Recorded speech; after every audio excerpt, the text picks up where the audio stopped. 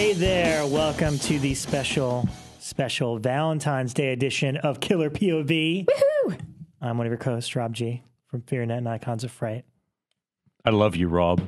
I love you, man. I love you, Bekah. I love I you love guys. Bekah. And you, I love you, listeners. I love the listeners too. It's Elric Kane. Except that one guy in England who didn't like our drunken podcast. No, whatever. I just That's- like you hard. I like you real hard. And, and you'll probably get my love back in one day. Well, I, I I'm wasn't. sure. I wasn't as fond of our drunken podcast. It was I great. keep, I'm still apologizing Yeah, for it. it By the was way, that's great. Rebekah McKendry. You should know by now. That's Elric Kane. Hola. We're back up to speed. yeah, it was great fun to record, but looking back and trying to listen to it, because I was like, man, I wonder if my drunk ass said anything really stupid. And um, when I was trying to listen to it, I was like, God, this is annoying shit. So, um, So you know, in, in small spurts, it's it's fun. It's fun to listen to. Not that Elric knows because he doesn't listen to our show. And I still don't know what the joke is that Morgan said he really he I said know. I, he fell off his chair laughing at something I said and then even when he said it back to me it had nothing nothing went off what in my did you head say? something about remember. kids something about does the person have kids do they talk I don't know What the hell? Yeah, is this a bit- Morgan Peter Brown? yeah Morgan is saying he'll he'll tell me but even then I that shows how far gone know. I was even referencing the joke I was over my head anyway that was right, two so- episodes ago so we should not apologize Happy Valentine's Day, Yes, guys. and, and I, I came prepared. Rebekah is currently opening a giant heart filled with Hershey Kisses. that my hand Boom. is going That- into Yeah, I'm snagging because one Hershey right Kisses now. There you go. And then I also bought for all of us marshmallow hearts. And I gotta ones, tell, I can't wait. It was the sweetest thing today because like Rob messages that you know he's getting chocolates tonight, and I just reminded is- him. I was like, Rob, I have a really severe peanut allergy, so please don't get like pure peanut butter because it's hard for me to be in the room with it at the same time because it makes me you know kind of sneeze a lot and my eyes swell up and swell shut and it's really nasty. Um, and I so- said the stupidest thing I've ever said in my life. But in my defense, I was totally. I've, I've been flustered all day. I've been running around like a madman. Uh-huh. I've, you know, uh, no. But she's like, she's like, I'm allergic to peanuts, and I'm like, okay, great. And I'm standing in front of the rack looking at chocolates, and I see a giant Reese's, and I'm like, oh hey, can you eat Reese's peanut butter cup? that's awesome And the second I sent it, I'm like. Oh, that's right. They use peanuts to make peanut butter. Oh yeah. Great. Oh yeah. Okay. And That was that's- a big that's leap exactly for what you, wrote me clearly. Back. You're like, the main ingredient in peanut butter is peanuts. Very like, little "Ah, butter, but quite a lot of peanuts. I was like, damn it, that's the stupidest thing I've ever said. Yeah. But then I saw the Hershey's Kisses and I'm like, I think this is safe. Hershey's good. And you kind And of marshmallow. Made, you kind of made my day by bringing the marshmallow hearts, which should be fun to eat on air. It's kind of like you know doing chubby bunnies on air. yeah, yeah. No one's going to understand anything we say. Hey, now I brought, beer, I Fluffernutters. brought beer too. Fluffernutter. I've uh, I, I converted me. I conver- Those I told you to also get them have for your peanut butter cafe, in and them? now you love them. Wait, I do what's a love 'em. fluffer nutter? It's marshmallow. It's marshmallow fluff and peanut butter Yeah, in a that's what I sandwich thought. bread. And I was telling Al- Elric that he should get it for Jump Cut Cafe because that was a big thing for me on all the in New York and all Mm-hmm. the Long Island coffee shops. I'd always get a cup of coffee and fluffernutter. And he's like, marshmallow peanut. This is madness. What do you? What, what sounded is this? really stupid to You're me. like, this is crazy. Who wants that? And then, but you know what it tasted like? It tasted like like, heaven. America. and I like that taste I of have America. recommended so many sandwiches to this guy. My new one: brie, apples, and prosciutto Hey now. on whole wheat. He's not going to do it. Uh, well, unless you That put sounds a little crazy. if you put peanut butter and and marshmallow in it. Look at the peanut But butter. yeah, so two days later, you t- you posted a picture on Instagram of you eating one. I just and I just saw the tag. S- What did you say? You were like something about Nothing will be the same. this is my third fluff. yeah, that was my third. I tried to. I was going to pretend it was my first, but it was my third. ever again. I was noticing said. Elric looked a little bloated tonight. Yeah. It's the fluffer nutters. It's the fluffer nutters. telling you, it's a There, I'm gonna have to. American I'm gonna have to back off those. Wow. My Elvis. All right, so let's uh, let's get right into it uh, before our guest arrives. Uh, what have we seen this week? I've seen a bunch of stuff. Well, well, we did a really cool screening as Yes. a, a podcast team. Um, Wait, wait. we Really had- cool. It will depend who we ask. Yeah, this is true. we had cool. what I, think is a really cool screening. Um, we hosted a screening of Blood on Satan's Claw at Jump Cut Cafe, and for those of you guys who haven't heard our prior shows about this, it's just a really kind of quirky folk pagan film from Britain. It was in the early 70s and it really um, it's kind of a staple over there and it has no attention whatsoever over here. Joe Dante, quote unquote, the best British horror film ever made. Yep. He said that. He said that. On Trailers from Hell. on So- the trailer. So we So- have this wonderful screening of it last Thursday night, and I'm all excited. And um, afterwards, I'm glowing because you know it's such a cool film, and it's weird. I mean, it's definitely it's it's got some flaws, but they're kind of quirky flaws. Like there's really no It's protagonist. got ma- yeah major structure flaws, but but then you read about it afterwards, and that's all explained. Yeah. But but it ha- but it's not weird. It's not overly weird by like weird British folk standards. It's like it's really not weirder than Wicker Man if you had never Uh-uh. seen Wicker Man. Like Yeah. first time you see Wicker Man, you're like shit, that's weird. And I and so what is interesting about this whole conversation where it's leading into it's mostly about this is mostly going to be about Rob because what what clearly there's a picture emerging about Rob. Uh, first, he says, "I just don't like Ben Wheatley stuff. I haven't connected it." That's true, I don't. I'm an emerging picture of anti-British folk horror is emerging. I can't say anti-modern British because you like things like The Descent, right? Hmm. Yeah, I love The so, Descent. So it's not all British films, but um, I can't explain it. I just again, I you know, I missed I missed the Hammer period growing up. Uh, not that I don't like the movies or anything. It's just I, I just never got into them. I just missed them, and then now I watch them, and and I mean, I haven't seen a lot. I sort of like them, but they're not the sort of thing where I'm like, oh man, I, I can't wait to watch that again and again. I'm just kind of like, eh, okay. But see, I don't think these are like the Hammer ones. I, I kind of It's agree with not, Hammer, to be honest. I, no, no, I love but- Peter Cushing, but I don't necessarily always relate to the. It's a little too at arm's length. Okay, Yeah. first of all, Rebekah's the only one that saw this movie for our secret Killer POV screening. Yes. That's right. For future Killer POV screenings, I think we should all agree on the movie. But maybe it's fun. Maybe it gives us by the something end to- of it, I, I, I didn't like it at all. Or I- what I about just this? What about it's myself. always something that the other two haven't seen? Therefore, one That'd of you has to show it to See, the other two. I think two. that's fun. Because I could Okay. do Arabetta. I've got that one to show you guys, and so that way we can And now I don't always have a. That, that way we can always have a conversation about it. But I mean, I thought it was. I really loved it. Uh, I definitely, definitely felt. Yes, I could see clearly the structure problem throws you because. Uh, afterwards, about reading about it, it, it was uh, meant to be three short stories around the same topic. I think directed by different people, kind of an anthology, but with the same kind of characters. And because at the last minute they probably realized making a feature makes more money, or, or anthologies weren't popular anymore. You know, all the Amicus, all these companies were changing here and there. Uh, it was put into a feature, so you definitely miss not knowing which character to follow. Except that it makes that Linda Hayden, the creepy girl, even more maybe interesting because you, there's nothing likable about her, and yet she's the only one you see consistently. Yeah. Um, she, all, I thought all the stuff with the girls is fan, like a plus. Like everything with the girls and creepy Satanism and finding the devil's skin, all of that's a plus. Some of the just typical British horror folk scenes or like kind of clunky, you know, clunky scenes with some of the other male But actors what were about the judge? The the judge uh, Patrick Wymark. I had to write his name down. Who's in a lot of Hammer stuff, He, uh, right? he did a ton of Hammer beforehand. Oh yeah. And he he actually uh, he goes out blazing in this movie. I'm not going to ruin the film for you, but he really goes out blazing. And um, he this was his last thing, so it's Yeah. pretty cool. If you're going to go out, uh, this is your last movie before you die. This is uh, this is the one to go out for. You just asked Rob. Yeah. This is the movie I, you I want. to guess.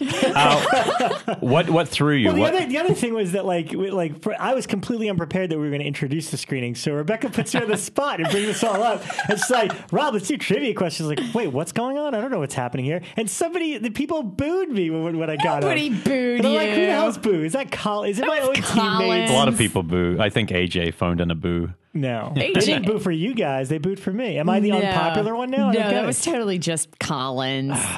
well, whatever. Uh, no, I just, I didn't, I didn't, I just didn't get it. I didn't get it. I, I couldn't follow. I, a lot of times it's like even the, I don't want to say, just like the, it's like when you're watching a, f- I'm not even, I can't compare it to a foreign film, but I like, I almost can't understand what they're saying. Not to say their accents are too thick, but they're having conversations, and I'm like, and what does that mean? Oh, you mean It's the the? not- They kept saying the. the but The I'd must say, come with me. The. I'd say I, I understand that because there I feel that way about Hammer films where no matter how much I watch Hammer, it's not accessible to me, is how I always describe it. I understand everything they're saying, I understand what they're doing, but there is just something that kind of makes me keep it at arm's length that says, okay, I just didn't connect with this film on a level. Yeah. And it's weird because my husband Dave loves Hammer. It's like his favorite damn thing in the world to watch. I so still think I- the period piece part Yeah. is part of it. I think there's Yeah. something about watching a horror film in whatever a, a period you live in Yeah. that's set in your period that always connects to you Well, a lot more viscerally or something. I don't know because like when I watch Cemetery Man, which is obviously set in kind of a weird offish time period, I But maybe that's so contemporary in the way they put it together. yeah, like that's is put very together in a way that feels filmed. I don't know if that's actually a period piece because it looks like it in some parts, but then they have like a limo and then he's in a Yeah, hospital. So, but other parts Okay, do that's a weird feel one, so you're right. No, no, but you're right. out. Some parts do feel like middle agey when Yeah. he's in the cemetery. Yeah, I was maybe that's say just a weird 1800s, but yeah, that, I think that one's just kind of off. It's just probably like a weird, but but I do think there's something to that. I, I do feel like those British ones. This felt like um, Witchfinder General, uh, a little which bit was of actually List, made by the same company. T Right. Made Witchfinder as well. and it did well, and that's why they Mm-hmm. did this one. Um, What else did it remind me of? Wicker Man. There's there's like three or four things that it had a s- similar tone. I wouldn't say it's uh, overall maybe as strong as those, but the parts that are good are a, as good, if not better, at times. Like the stuff with her eyebrows and her trying to seduce the priest. There's a really great scene in there. Mm-hmm. Right. I thought. Okay. But um, but you know, it's but there was a lot. He Rob wasn't alone. So in defense of Rob, I think I heard. I mean, half, maybe more than half, really didn't. Me and you and Brian loved it, but there was a lot of people coming out going, no. No, no. It was the same way. After a couple of weeks ago, we um, worked with Millennium and hosted the screening of Frankenstein Created Woman for Hammer. Oh, yeah, I didn't care and for that. like, I didn't like it either. And, thought it was really yeah. boring. And so, like, most of us left going, "Man, that one was just kind of." Ugh. Yeah, it was one of the. I, th- I really thought that was one of the duller Hammer films I've seen. Just never had that. I don't know. It had a couple of interesting moments. I like Blood and Satan's Claw like Yeah. ten times more than that. Yeah. But like the Hammer film, I always urge people to say who aren't Hammer, and we, and we were talking about this after because Mm-hmm. again the tone was there. Is um, Devil Rides Out? I think if you haven't seen that, I'm not sure if it's on Blue yet. It's a good Valentine's Day film as well. Yeah, it's Oh. it's my favorite kind of invoking the devil type movie, but it's also the one that feels the most contemporary of all of Hammer's stuff because they're more like educated people. Christopher Lee plays, you know, they're trying to having a kind of a, not a séance, but whatever they're doing uh, in this old house, and it's really good. And it's and it's Terence Fisher, so it just it's one of the Hammer films that I always think about. You know, it's probably the only one where it's not just uh, Frankenstein, Dracula. You know, Yeah, even though that stuff's iconic and fun. Yeah, Yeah. I kind of like Dracula AD, the That's fun, yeah. 1972, Yeah. I think it was. Um, But that one's trying hard, right, to be contemporary. It's trying It's to be so hip and Yeah. so mod. It's pretty much like Yeah. Dracula in a leisure suit, Yeah. but it's fun. Yeah. so No, it I is like fun. that one. But, um, yeah. I also saw last night um, my landlord, of all people, had kept asking me if he could borrow my copy of Burnt Offerings. And I was like, I have a copy of Burnt Offerings. You know, okay. I fine. definitely do. Um, so he borrowed it and he returned it yesterday and he was like, This is an amazing. I love this film. I'm so glad I got to see this again. And I was like, I don't even remember it. So I went back and watched Burnt Offerings again last night. And um, I know it's one of your fave films. I love it. I just think it's fucking crazy. And Oliver Oliver Reed in the pool, I think, is the greatest scene in the history of He cinema. was in like that happened like six times in the movie. no, there's a scene was where it's like so Okay, it was menacing. it's like, what is going on? Like, if these characters are being possessed or what by the house, it's just like just one of those movies you watch and go, "Wow!" For creepy house movies, this one really is just fucking strange. Wow, I was I've kind of never seen bored. it. Yeah. Believe it or not, Um, I've never seen Burnt Offerings. I was bored it. through a large chunk of it, to be honest. Um, Yeah. A lot of it was just like walking around the house and looking at knickknacks and pictures, and here's a clock and close up and things like that. Um, so I was a little bit bored for parts of it, but I will say this is pre Shining. Uh-huh. And if you watch Burnt Offerings and then think of it as being pre Shining Mm-hmm. and pre a lot of these other like haunted house, like Amityville movies that come out in Mm-hmm. the late 70s, then I give mad respect to it just because it was doing things that now when I watch a haunted house movie, I'm like, oh, that's like a really trite trope that they Uh-huh. put in every haunted house movie. But when you realize that this was doing it before anybody else was, it gets some mad respect. And I don't uh, know. I, I I mean, that one I would fiercely debate as anything but boring. I don't know if you saw the same movie. Really? It's like crazy. All the performances. Oh Betty, you have No, Bette Davis. Bette Davis you have, was fun. Uh, Burgess liked her. Meredith. You have Oliver. I mean, they're literally Karen Black. You literally have four of the most famously crazy actors in one movie, but all Karen doing Black crazy does stuff. is walk around and go like, "Stay out of this room." She gets possessed. Out of this room, but not till the very end. So, Spoiler. spoiler. Way to go, guys. So Uh. I think it's a really. You guys watch it and you tell us. I, I haven't seen it for a long time, but I remember I didn't know what it was, and it came on TV not long ago, like I don't know, eight years ago or something, and I couldn't even believe it. Like when Oliver Reed did this the thing is like the fucking thing. good. right? I Marshmallows. just bit into Rob's we started marshmallow eating a thing. marshmallow thing. This It's is delicious. really damn good. I have a few titles I want to throw out really quickly, and I'll be brief. One, follow up to the debates episode. Um, I actually uh, bought Phantoms. Uh, not only that, it was it was a three pack. For I don't like, know how I feel about that. It was a three pack spent money on on that. Blu-ray. Uh, not only that, I spent five dollars on Darkness, Phantoms, and Venom. Oh, It's wow. like, there's like That was like a twofer of ones that we talked about that night. Exactly. Now, what's funny is uh, my roommate kind of kind of likes Ben Affleck, I think. So I was like, "Hey, I'm gonna watch Phantoms." He's like, "I'll watch that with you." And gotta say, it's it starts out pretty strong, like it's pretty creepy. But the second Ben Affleck and Liev Schreiber and those dudes show up, Like they are so bad in the movie. Liev It Schreiber's could- freaking terrible in that movie. It could be the worst He's he's, a good ever actor. been, and it could be the worst that Ben Affleck has ever Oh, been yeah. in a movie. Yeah, And it was hilarious because we're sitting there watching it, and finally. I clicked the button to see how much longer is left, and it's like 40 minutes. Yeah. And like, oh. So we gave up with 40 minutes to go. It's Yeah. like, eh, whatever. We, You didn't miss the yeah the bad parts of the second half. Yeah, I didn't care about that But one. yeah, Schreiber and uh, Ben Affleck are like unholy bad in that film. Yeah, like there's something really just so fake about Ben Affleck in that film. totally. You know, I feel like he's smirking at the camera getting ready to Yeah. laugh any Yeah. minute now. But you proved my point. Beginning part with the two girls just wandering point? around. My point was that the beginning part of it with the two girls just wandering around is some really creepy shit. That'd be a nice short. It would, Let's do wouldn't it? that. Well, the first 15 minutes is doesn't short. that doesn't it means if you brought it up on a debates issue and and the second half is unwatchable, Yeah, that that's a lot. I always turn it off as soon as Ian McKellen shows up. I think uh, you watched Wait, Phantoms, is not that Trapped him? Peter Ashes last O'Toole. night. Peter, Peter, Peter O'Toole, O'Toole. thank you. Oh, yeah, Yeah. Peter O'Toole's okay. Poor Yeah, Peter O'Toole. Okay, we did fast forward a little bit. and He has a, a scene where he's having a screaming match with Ben Affleck, and, and all we could think of during this scene was like, "Poor Peter O'Toole. This is what it's come to." I just, I always wanted the ability from Phantom to open my mouth and not move it, but have words come out because I love that effect. It's just so fun. I don't remember. Does that happen in that? Yeah, Oh, it's where they haven't- just like it, the the demon or whatever it is, underground creature Oh. will talk through them. So all they do is open their mouth and it talks. Oh, that's it's cool. really it's neat. So, Yes. And the other one from the debates episode that I checked out, um, I broke out Blair Witch 2 again uh, to reconfirm if I liked You it or not. I did. I really like it a lot. And you know why? Because I think it works better with a little bit of time.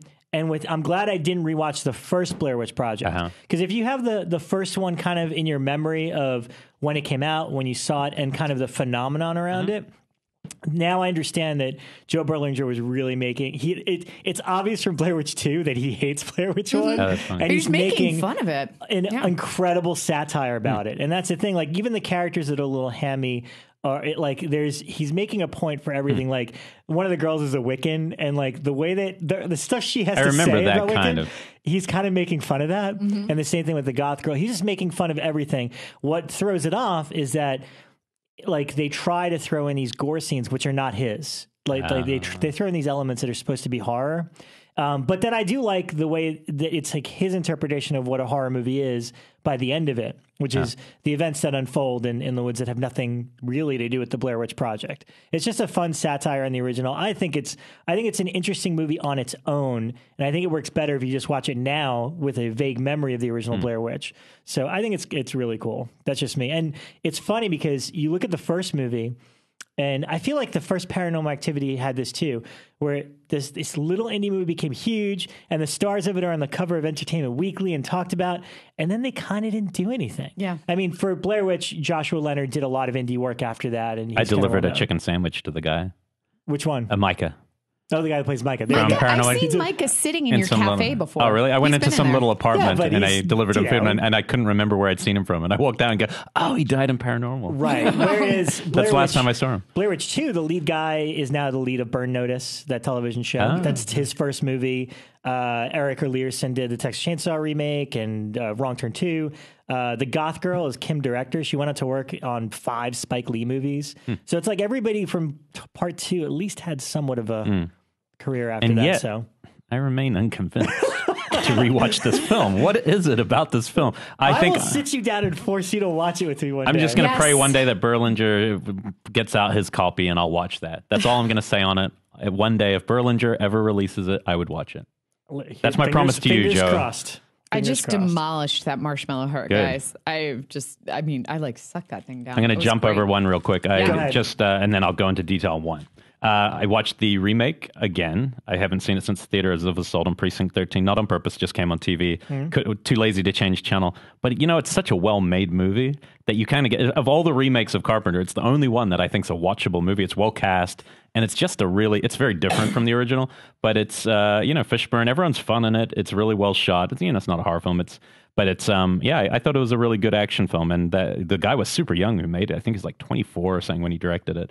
Um but you know it's, n- it's no masterpiece but it was just funny. You know those movies when they come on tv and you just cannot change the channel for some reason and it, it was that you know good enough. Plus uh, you know, t- for most of you guys, it's Tom Atkins, but my other Tom Atkins is Brian Dennehy. Like Brian Dennehy to me is so freaking watchable as an American actor. If he's him. in something, especially older Dennehy, uh, like or FX Dennehy. FX movies. FX is one of my FX favorites. I love FX and FX2 are both great movies. He just is a fucking good actor, and so he he was really well used in it, kind of as the a slight red herring and stuff. But it's it's a cool movie. But the one I want to talk about this is serious.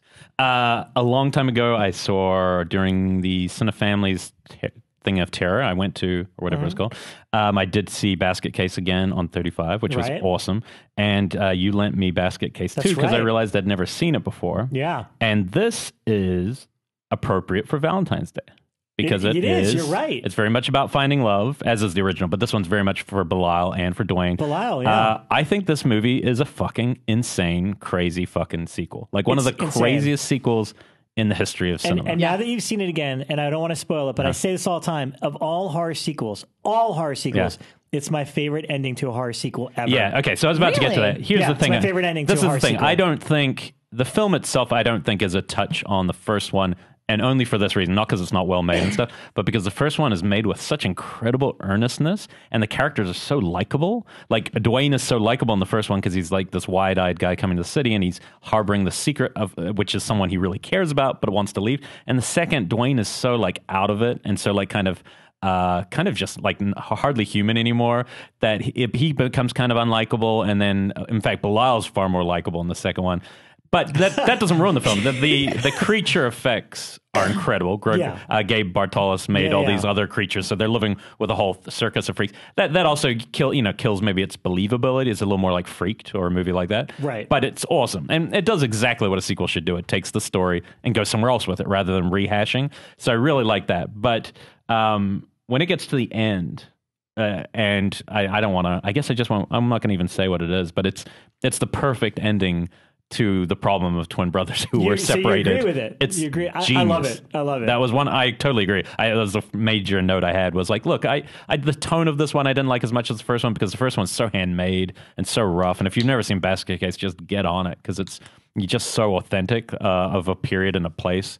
Um, this one's you know a little more mannered and stuff because of the creatures, but it's still a lot of fun and it is a wacky, wacky sequel. Yeah. Um, but the ending is just so good. It's like perfect. I almost don't want to see the third one now, Yeah, just even, in case. Even, even he regrets the third one, Okay, which which yeah. is you know they use a lot of footage from this one. Yeah. but but maybe I, maybe I won't then Yeah. because it just was kind of perfect. Yeah. it's kind of how you want to remember that storyline. yeah. So yeah, you should see it. Great. I have not seen the first one since I was in high school, and I haven't seen the second one ever. Ooh, So double- Yeah, no, I I, gotta I'd seen the first We're one doing once. a double feature soon. And Let's do that. And I always liked the creature, but when I started at Cinefamily on a, on a big screen where the humor was really playing to an Yeah. Audience, I was like, man, it's a good movie. I really think it's one of those great, like it's up there. And it, it's not art like a Eraserhead and stuff like that, but it, I do think it's part of that same handmade horror. You know, that would be a good show, handmade horror film that horror feels films. like it was made by Yeah, some guy yeah, for with sure. no studios. But anyway, that's that was yeah, that was the big one that got us up to we're pretty much right. I mean, we wanted to. We'll go around real quick before we get to our guest and our topic, uh, Mm-hmm. and you know, favorite horror couples, couples in horror. I mean, just a couple. We don't have to go in depth.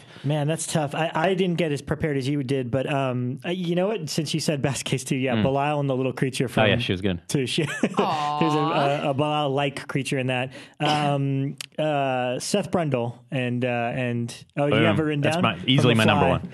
I think it's the Your best number one, of the best love stories ever filmed. And I of course, I, I um, you know. Uh, written by the same uh, screenwriter Charles Edward Pogue, Psycho Three, uh, Norman Ah. Bates and Nice. uh, The and- Nun. The Nun, yeah. they wrote Fly. Fly. Maureen. He wrote The Fly as well. Oh, I didn't know that. Yeah, no, I think Same Goldblum and Davis. too. Also, they just had incredible chemistry because they had a real life a relationship. Yeah. and I think she loves him even during this transformation. And usually in horror films, the, they become kind of hysterical and start running away. She sticks with it and in the situation as long as she possibly can until it's just pure monstrous mayhem. And it's I think it's one of the best.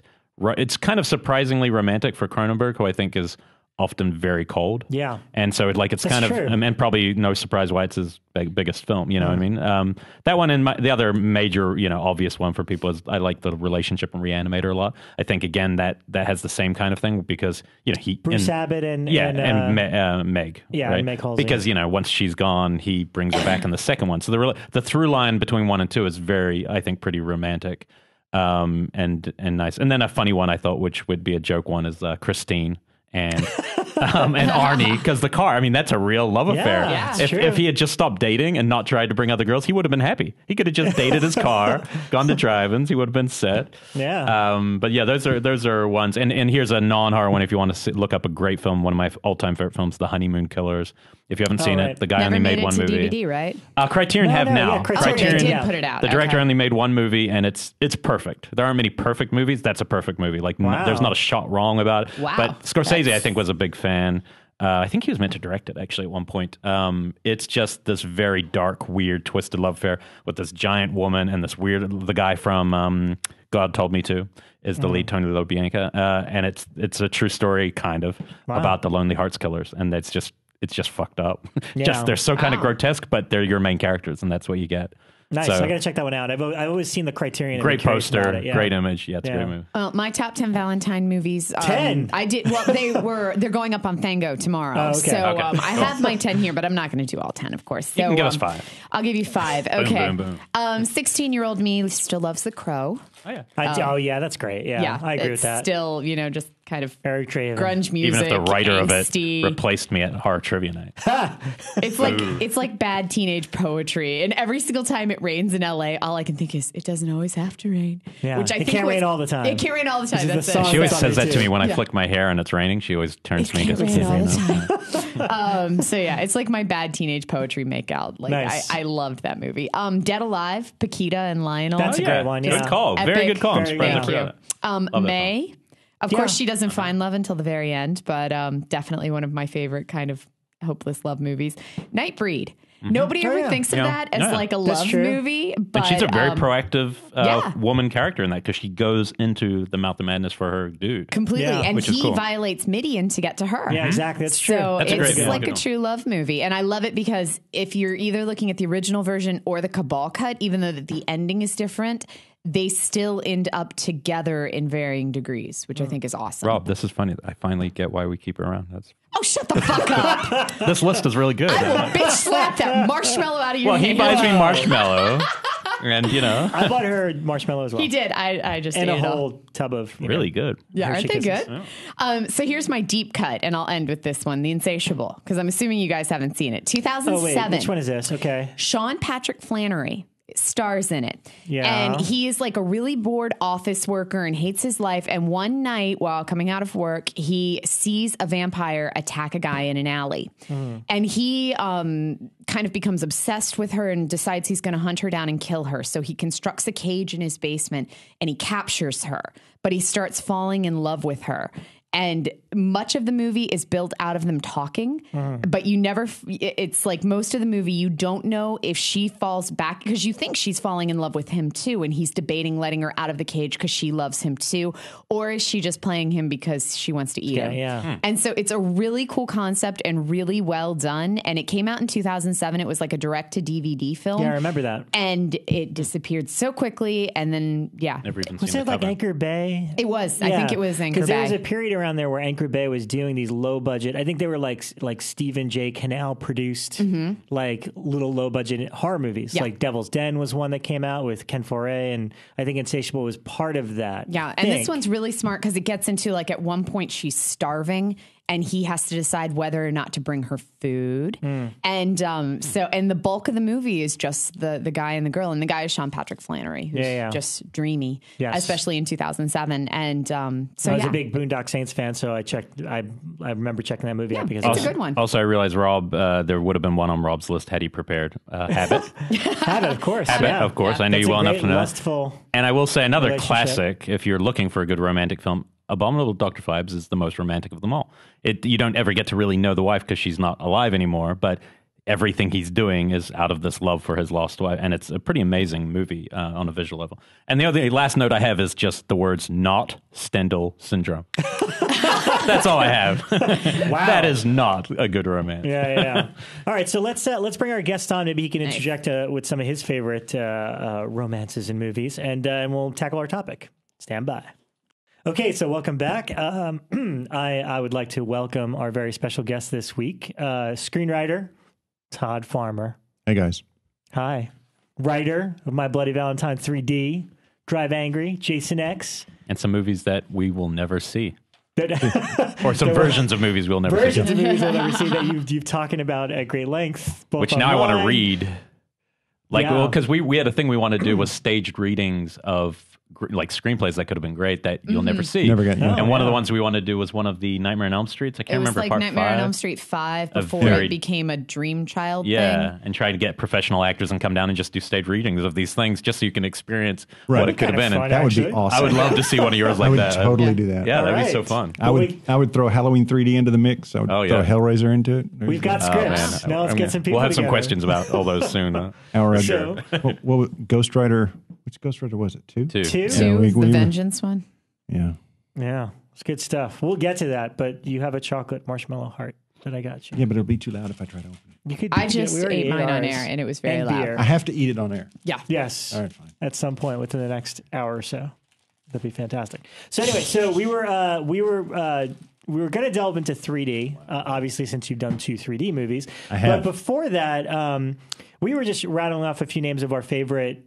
Was it what was the this? I think we're just it's well. This is going to play on Valentine's Day, so we're saying Yeah. our favorite horror couples. I know you stole one of mine because I, I would have said Goldblum and Geena Davis. yeah, uh, that's a great without one. a doubt. Unanimous. But you also uh, did you did you say Hannibal and Clarice? Because No, yeah. No, No. that's a good one. Actually, you just opened up uh, an interesting one that I wanted to do was um, I don't want to say love hate relationships, but those type where they're like like he said, like Hannibal Clarice, Nancy and Freddie. Like they're they're not They're not- romantic, yeah. but there's some sort of weird underlining connection. But that- Hannibal and Clarice are romantic Well, they- by yeah, the last one. sure. By Hannibal, the film, there it's clear romance. You know? yeah. Although it's you know more so in the books. and it's the same Right. with Jared and Jensen. yeah, that's, that's supernatural. Yeah, that's a bromance going there. Yeah. yeah. yeah. Uh, and what was the other one I was thinking? Uh, Freddie Nancy. There was one similar to that as well. Um, but whatever. So all right. So you give a few of yours. Which which one did you say? Uh, Freddie Krueger and Nancy, like that kind of like nemesis, like not a final girl because like every Friday Thirteenth has a different final girl, but it's like there's something about. Uh, I guess you could say No, that I They're would equals. They're agree. I would rivals. agree. When you're an they're equal of someone you no, I would- respect or. Oh, I behind would the mask, the rise of Leslie Vernon. Leslie Vernon and the main girl in that are Actually, like you're the right. That one is borderline That's like romance, a yeah. great romance sort of arch nemesis sort of setup. So. Did did you guys uh, mention uh, Janet and Brad and uh, Sally and uh, Jack? Oh Jan and Tina Brad and Rocky and Horror. Rocky Horror. Yeah, nice. no, and the Uh, Nightmare Before Christmas. Probably my favorite would be Jessica Walter and Clint Eastwood.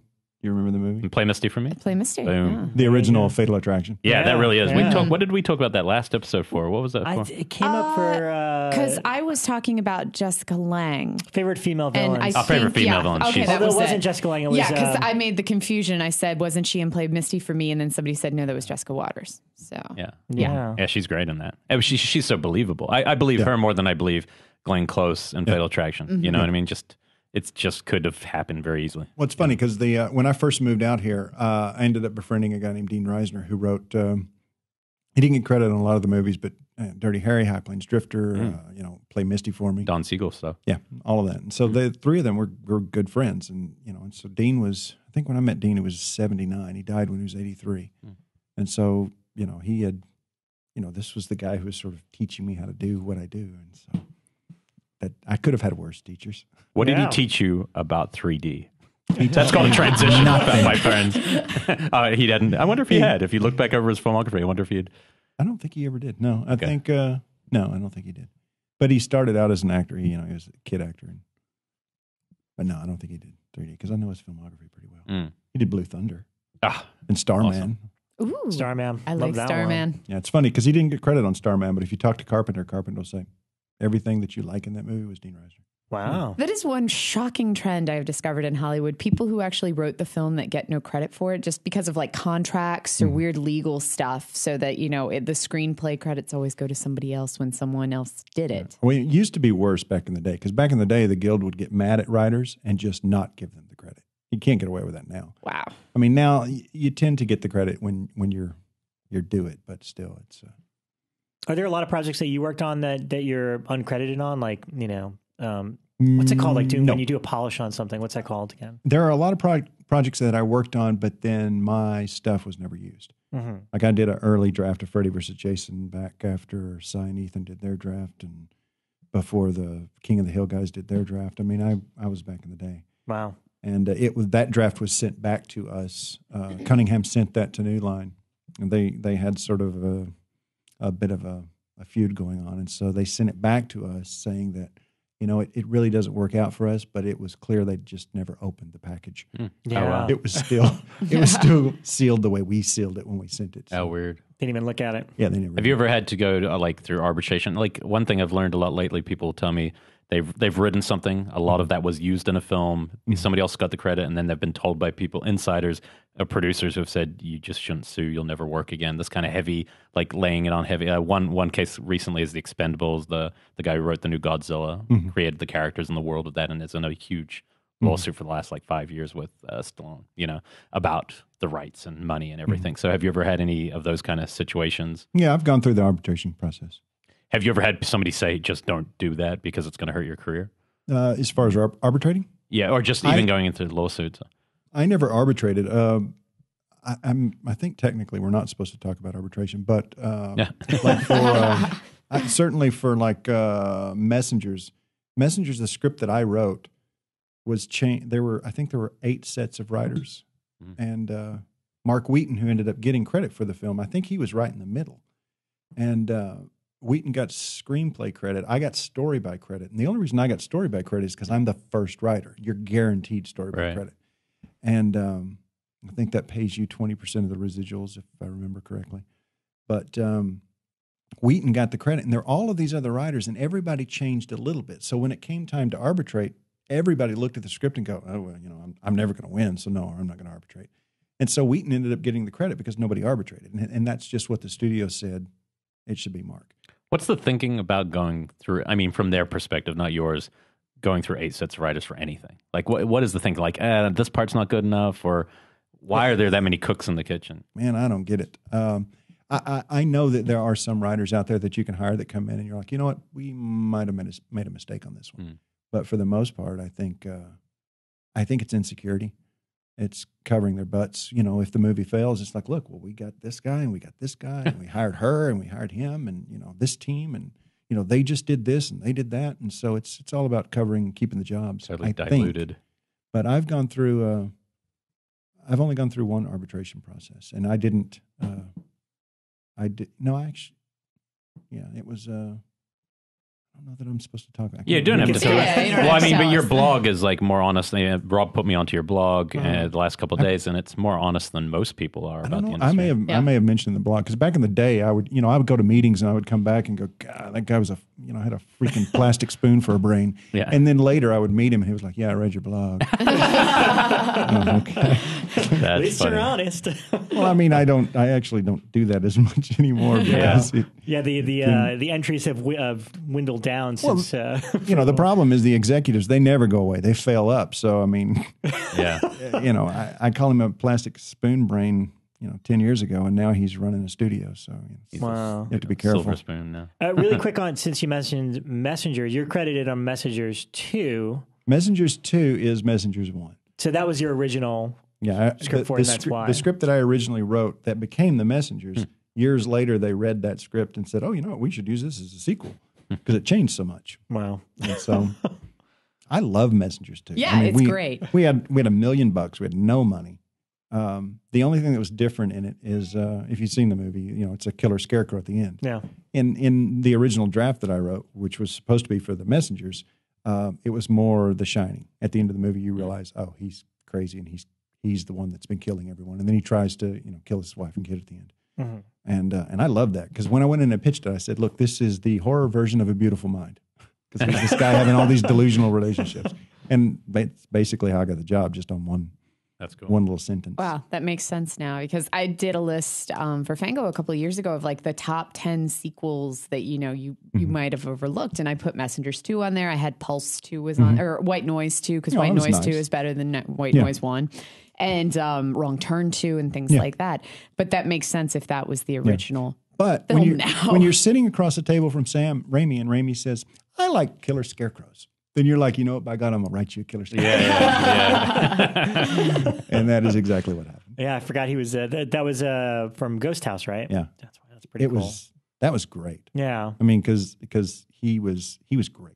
Yeah. Because he had there was no reason he's doing Spider Man. There's no reason for him to be in a in a room with me, and we're doing a direct to video movie. Mhm. There was no reason for him to take all of those meetings. And he Except was that he there. loves horror. He was there every Yeah, that's cool. meeting we took, Yeah. and it was a time crunch because the the strike was about to happen, Hmm. and we knew it. So we were trying to to beat the gun, and uh, then they ended up cutting a deal with the guild so I could write during the strike without getting in trouble. Wow. So it was wonderful. I was the only writer in Hollywood actually working. I had three jobs because everybody I was working with cut a deal with the guild. so I had three. I I wrote Valentine during Hmm. because uh, New Line or uh, Lionsgate cut a deal with the guild.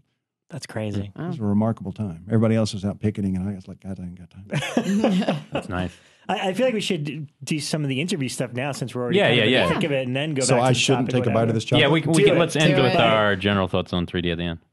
We'll go Sure. towards 3D. Yeah, yeah. Oh, once we get to 3D films. Yeah, Uh, that makes sense. I guess Jason X is. Uh, I, I haven't read enough to know the history of Jason X, and I don't know if people listening have. Uh, I'm curious to know because I read, I saw some pictures where it was like an, another Earth or Earth Two was. So obviously, you're going through for something like way more mythic. Talk about maybe how you even came to to send Jason to space. Was that your idea? It was sadly, no, not sadly. I, I love. Look, Jason was here. I put him up there. I take full credit for that. Yeah. So screw all the haters.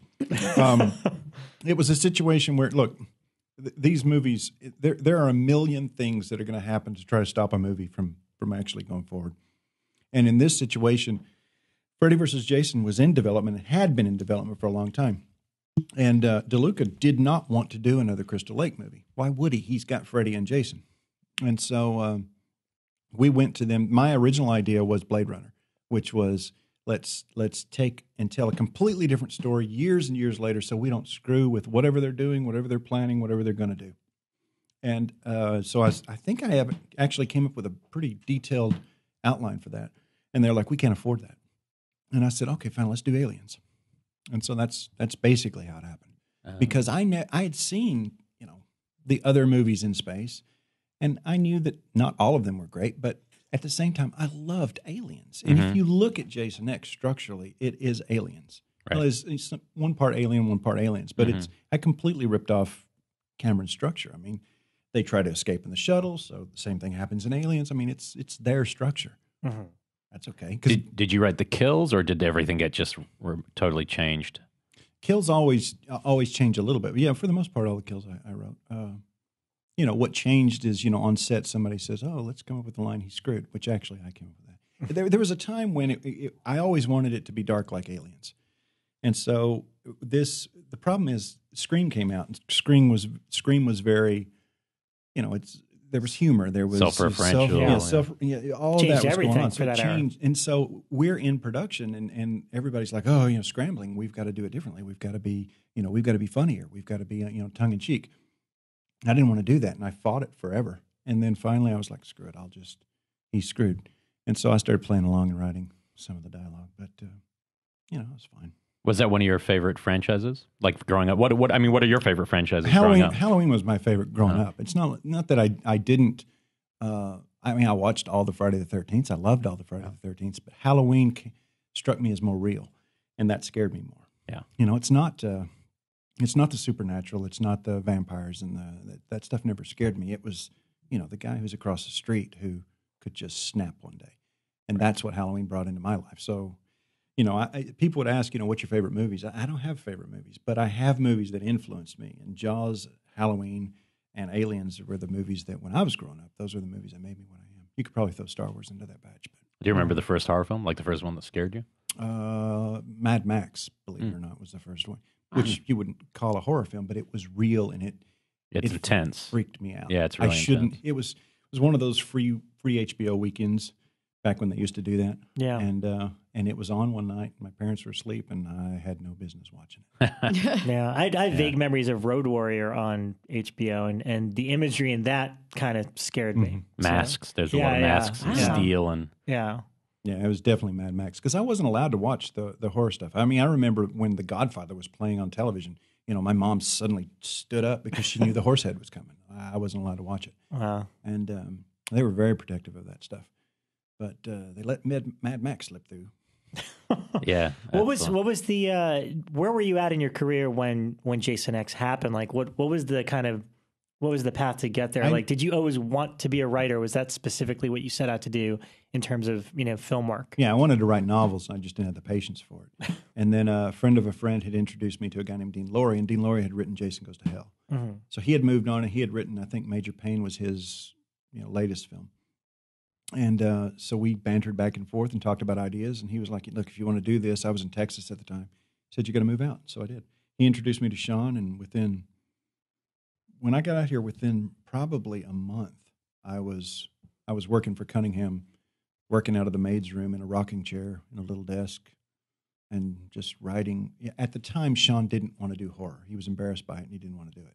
Mhm. Uh, he's embraced it now, but uh, at the time, he wanted to. You know, he wanted to win an Oscar, and so we were. He had me writing about you know delinquent kids and Spanish Harlem and Hmm. you know courtroom dramas, and I was like, dude, I'm a I'm a moron from Kentucky. Let me write horror.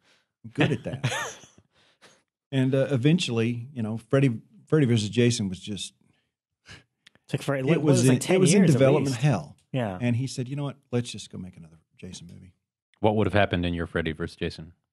Uh, or, or what would the tone have been? Because the tone in the final film was kind of silly, kind of comic, but kind of my uh, I always felt it was an event movie. It was Godzilla versus King Kong. Yeah. and uh, we had uh, we had an interesting storyline about uh, um, these. Uh, there was a drug that that would uh, enable you to enter dreams.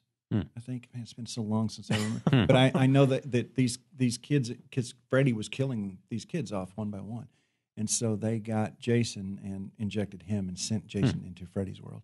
I think that's sort of how it worked. But it was, you know, it was it was I just greenlit that shit retroactively. that, is- that sounds sounds like uh, RoboCop too. yeah. that, but that was that wasn't just me. That was based on Cy and Ethan's draft. Sign Ethan did uh, Bulletproof Monk and Mm-hmm. uh, I forget all, everything else they've done. But uh, so you had you had sort of a criteria going into Freddy versus Jason. I'm like, Yeah, oh, I well, mean, this is know- what we like. Can you continue that? I, I was getting paid, you know, uh, two thousand bucks a month to write for Sean and write whatever Sean wanted.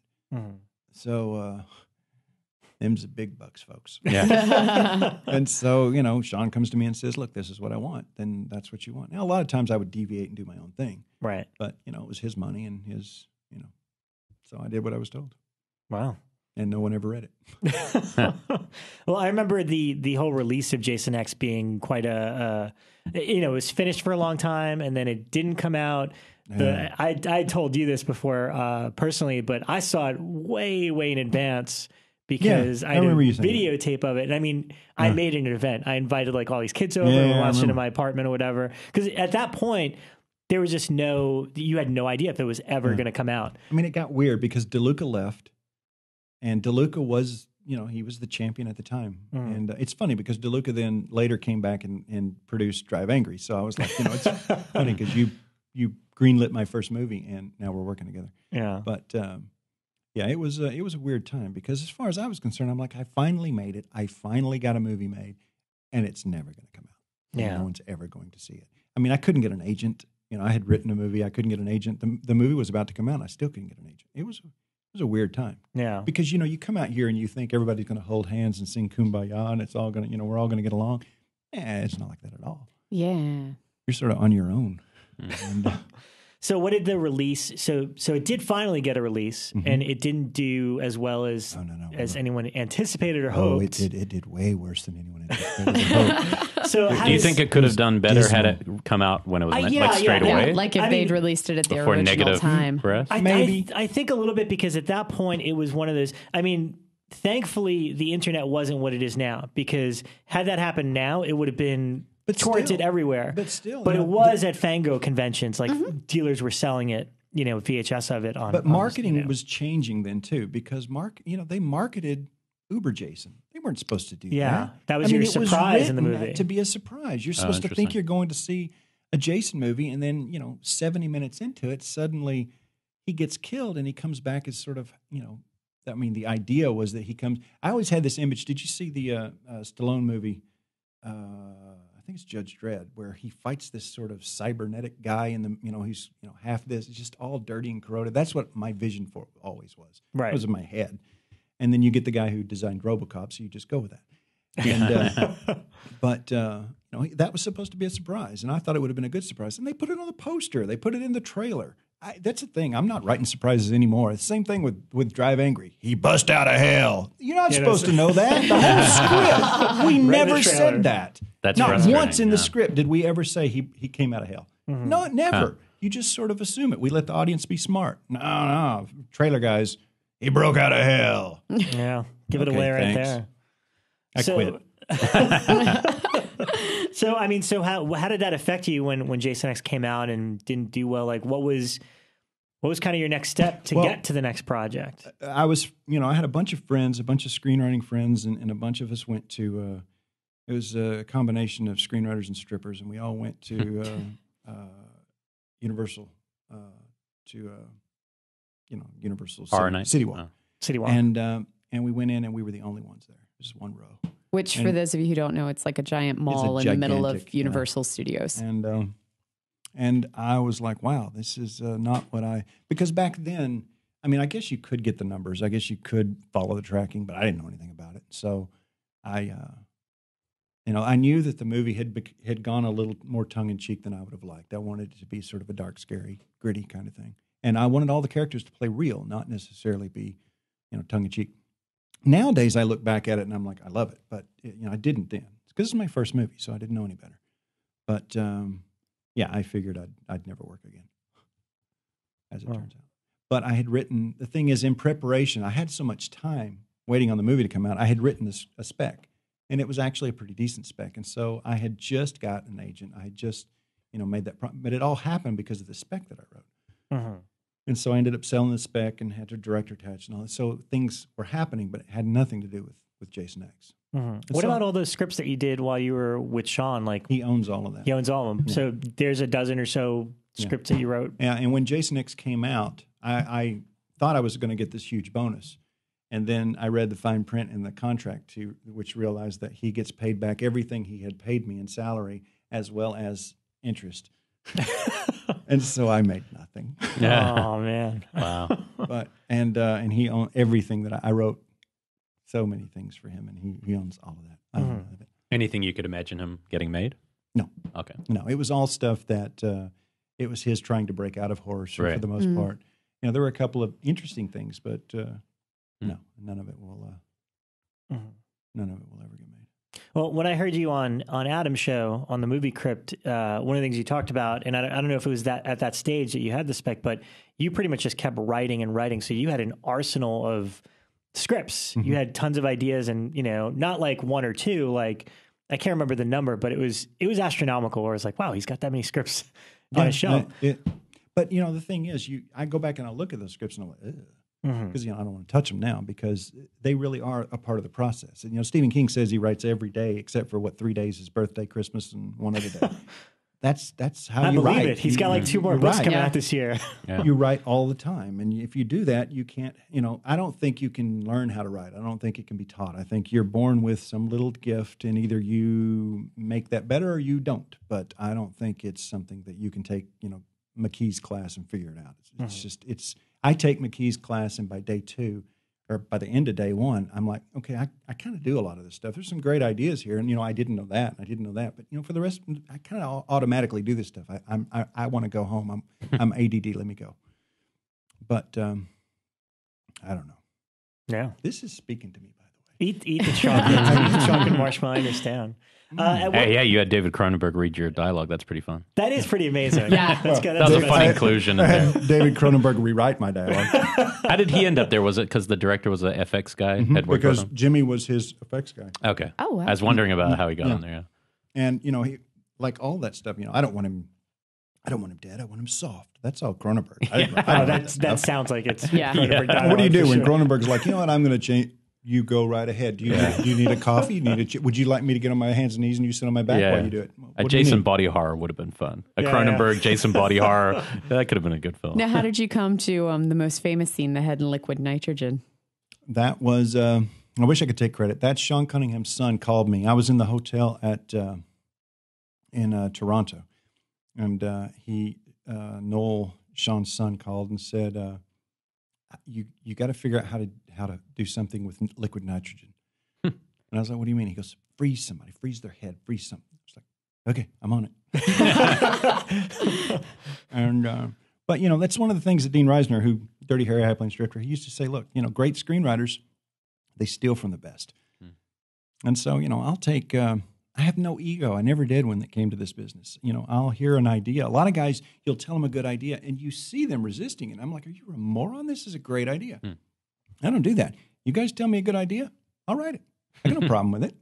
Who cares? It's about making the best story you can make. Mm-hmm. And you take elements from everybody. That's what a crew, cast and crew is about. You get on set, people change your dialogue.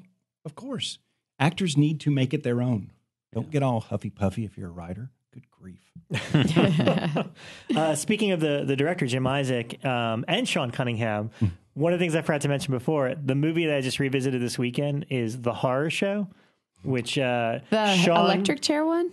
Yes. Okay. It came out around the same time as Shocker. Yep. Sean produced it. Yep. Jim Isaacs directed it. Scream Factory just put it out. Have you seen this? No, I haven't seen it. It's pretty. It's, Didn't they also call one of the house sequels Yeah, the it's House Show? Three. That Yeah, was it's House Oh, it Three. House Three. Yeah. Then I might Yeah. have seen it. I Yeah. like. I am so fascinated you're like, by this. what? Yeah. House Yeah. three. Like I, I want to talk to Sean about it and understand how did this become House. I thought it had a but the Kiwi director. show- The guy made. Um, was he No, fired? well, uh, yeah, I think Yeah. somebody was on it Because. Jim was brought in. I don't know the story. Yeah, but David Jim was brought Blyth in. Yeah. was his name because I always grew up with his films in New Zealand, and he's pretty extreme. I was surprised he was making a, a mainstream kind of. No, no, no. It, it, it- a few days on it, and then and then Jim Isaac was the one that finished it. It might have been his first movie, if I'm not mistaken, as a director. I believe it was, yeah. Yeah. As Interesting. director, yeah. But uh, it's a really wacky, you know, Hmm. serial killer in the chair kind of thing. But Scream Factory did a great job with it as usual, and it just because one of the screenwriting credits is Alan Smithee and somebody. so, I mean, so you, you That's see that- awesome. one guy became an Alan So you, you see that at the beginning, you're like, oh man, That's 'cause great. I haven't seen it since I was a teenager, so I was like, what am I in for?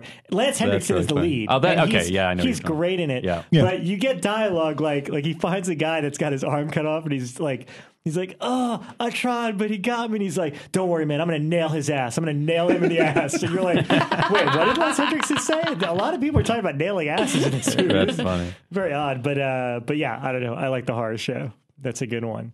Um, any stories about Jim Isaac since uh, that you know he directed your first movie, and Yeah, sadly we, uh, he's no longer with us, unfortunately. He was always unbelievably supportive, and uh, and he did this. He did this great thing that uh, he and uh, David Handman, who edited the movie, I would get. uh, This is my first movie, so Sean would come in, and Sean would come in to you know, everybody on a set with any power is going to try to do everything they can do to make it the best movie they can make, and you may disagree. Mhm. And Sean was my boss, and I was from Kentucky.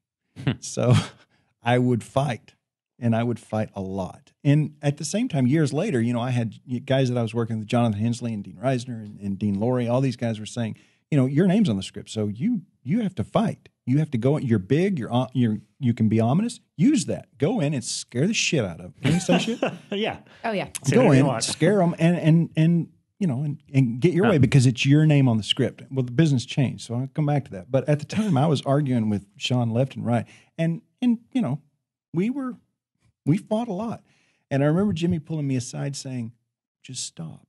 It doesn't matter. We'll do what we have to do now, but I'm shooting what I need, and when we get into the editing room, I will have the movie that I need." I Nice. was like, "Okay, I didn't know that." because I was seeing all of this dialogue. Like there was a scene where they bring this this girl back to life from from old Earth, and uh, and it was like it was like watching the worst episode of ER because there was just all this medical jargon, and it's it was a 10, 10 page scene. Hmm. I didn't write it, and we shot it, and I was freaking out over it. And Jimmy's like, "It doesn't matter." Yes, we can shoot this all day long. It's never going to be in the movie. That's great. Yeah, that's cool. So Okay. always befriend the director as much as humanly possible. Um, Jimmy and I were going to work together a lot, and then we just, you know, he was, I think he was living up north for a while, and then he was living down south, and we just, we just sort of, you know, it's like high school. We just, you know, we went off to college and didn't talk that much anymore. Yeah. So I didn't know he was sick. I didn't know. I, I knew nothing. I think I saw it on Twitter. Yeah. That's terrible. I met him once for, uh, I think he did a FangoCon for Skinwalkers. He did. He's Yeah. promoting that one. Super nice. I Yeah. Yeah, by Stan Jason X. Winston was there with him. Yeah, that's true. I met I would both of go- them together. I s- uh, he um I think uh, what was Pig Hunt he did. Pig Hunt was yeah. That the, was a the one Fango film as well. Yeah, that's right. Yeah, I saw him. Uh, I saw him at Comic Con when he was doing Skinwalkers, and then I, I went to the premiere of uh, the, the Pig Hunt at the Egyptian, I think. Mhm. But um, you know, beyond us being buddies and pals like we used to be, now we just we just went different ways, Yeah, and uh, Yeah, it happens in this business. Yeah, it does. I got a Uh, question about 3D and before, uh, just in general, because Wait, you mean that thing we were supposed to be talking? No, no, about? no, yeah, not in general. thing- I have a list. It's, We'll get to it. no, it's more about writing it because I've never, I, Yeah, it's that's- never crossed my brain until today to even ask this question. But uh, if you knew in advance that you're writing a 3D, I assume you did with My Bloody. Yeah. Uh, in the actual description, because you know, part of writing is just trying to make these people, these people in offices, see what you're seeing. Yeah. Yeah. How different is the, the kind of the description and the flourishes to get the third dimension? Yeah, because I, I I've never was about noticing when I made my list that the ones I listed my worst too, and they're the ones that were not intended to be 3D that were just kind of thrown in in post. So I assume Yeah. that there's something special you have to do in the script. Well, oddly enough, for, for My Bloody Valentine, we did nothing special Mm. at first because we didn't know.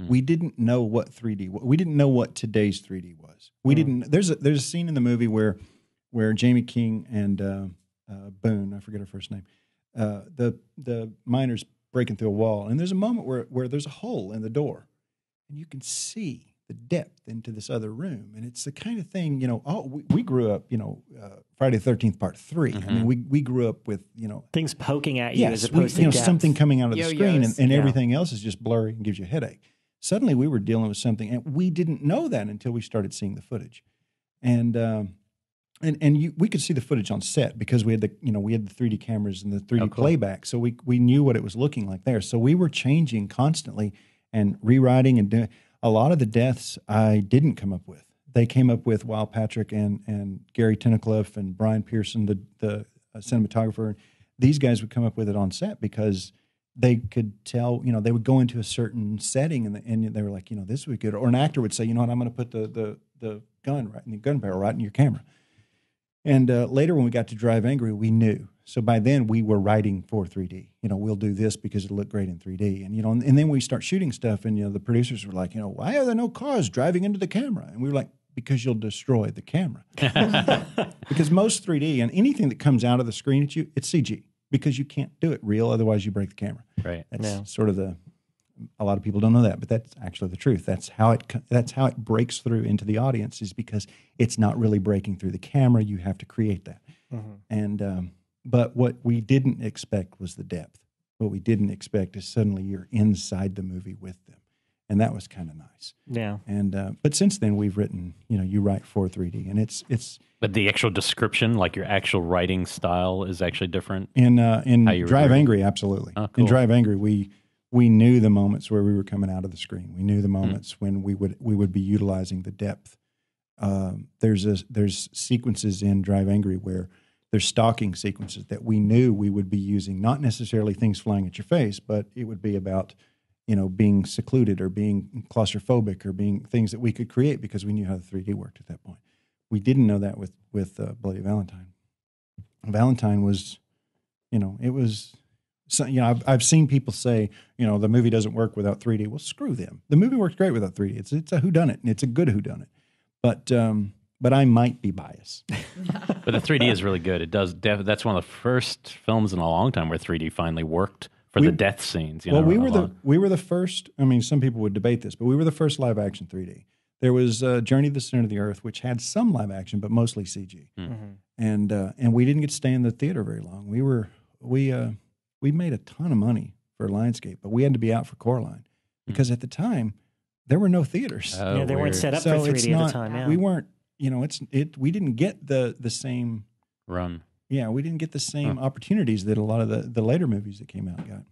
Yeah, I remember when My Bloody Valentine 3D came out. Um, I, I I don't remember the last 3D movie before that. It seemed like there was a big Gap. like gap. Beowulf was pretty close. Oh, that's Maybe true. that was yeah. like a year apart. Yeah, but- I want to say. But that was that was like fully animated. Yeah, for the very most different, Part. yeah. Yeah, that so a you know, different animation's thing. different. But in terms of live action, that was the first one in a long time that I remember being like, oh, it's a, a 3D movie. Where was Final Destination four in After. that? I feel like it was after. Yeah, way after. And the thing that I noted about it um, from my 3D experiences was it was the first one that made me aware of depth. Like that, mm-hmm. like you feel like, oh wow, you could really see all the way in there, like that. You know what I mean? Like whereas the idea of 3D is usually hokey and like something's coming at you, whatever. But that was the first one. I was like, oh wow, like I feel like I could run right Yeah. into that, you know, that that cave and you know, Yeah. keep going or whatever. So I remember that, and and I enjoyed the experience theatrically.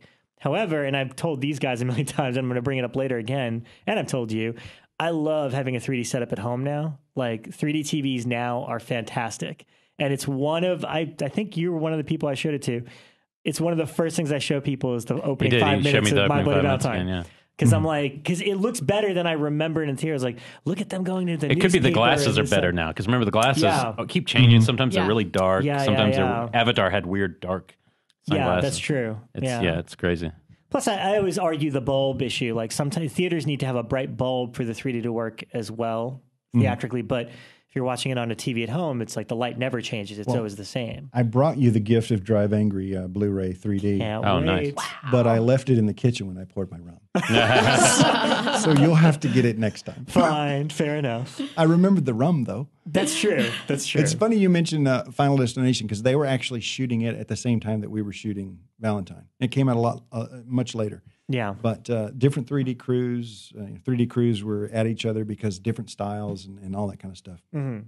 But uh, we were like, as far as we were concerned, we felt like this is great because you know we didn't want to be alone. We didn't want to be the only guys doing a 3D movie. So we were really excited that not only were we doing a 3D movie, but there was another horror movie coming out. It was 3D. So we felt like Your start of a trend, kind of. yeah, we Yeah. felt like we felt Good. like we were all a part of the team. And then Craig Perry goes on some magazine and starts dissing how dumb we are.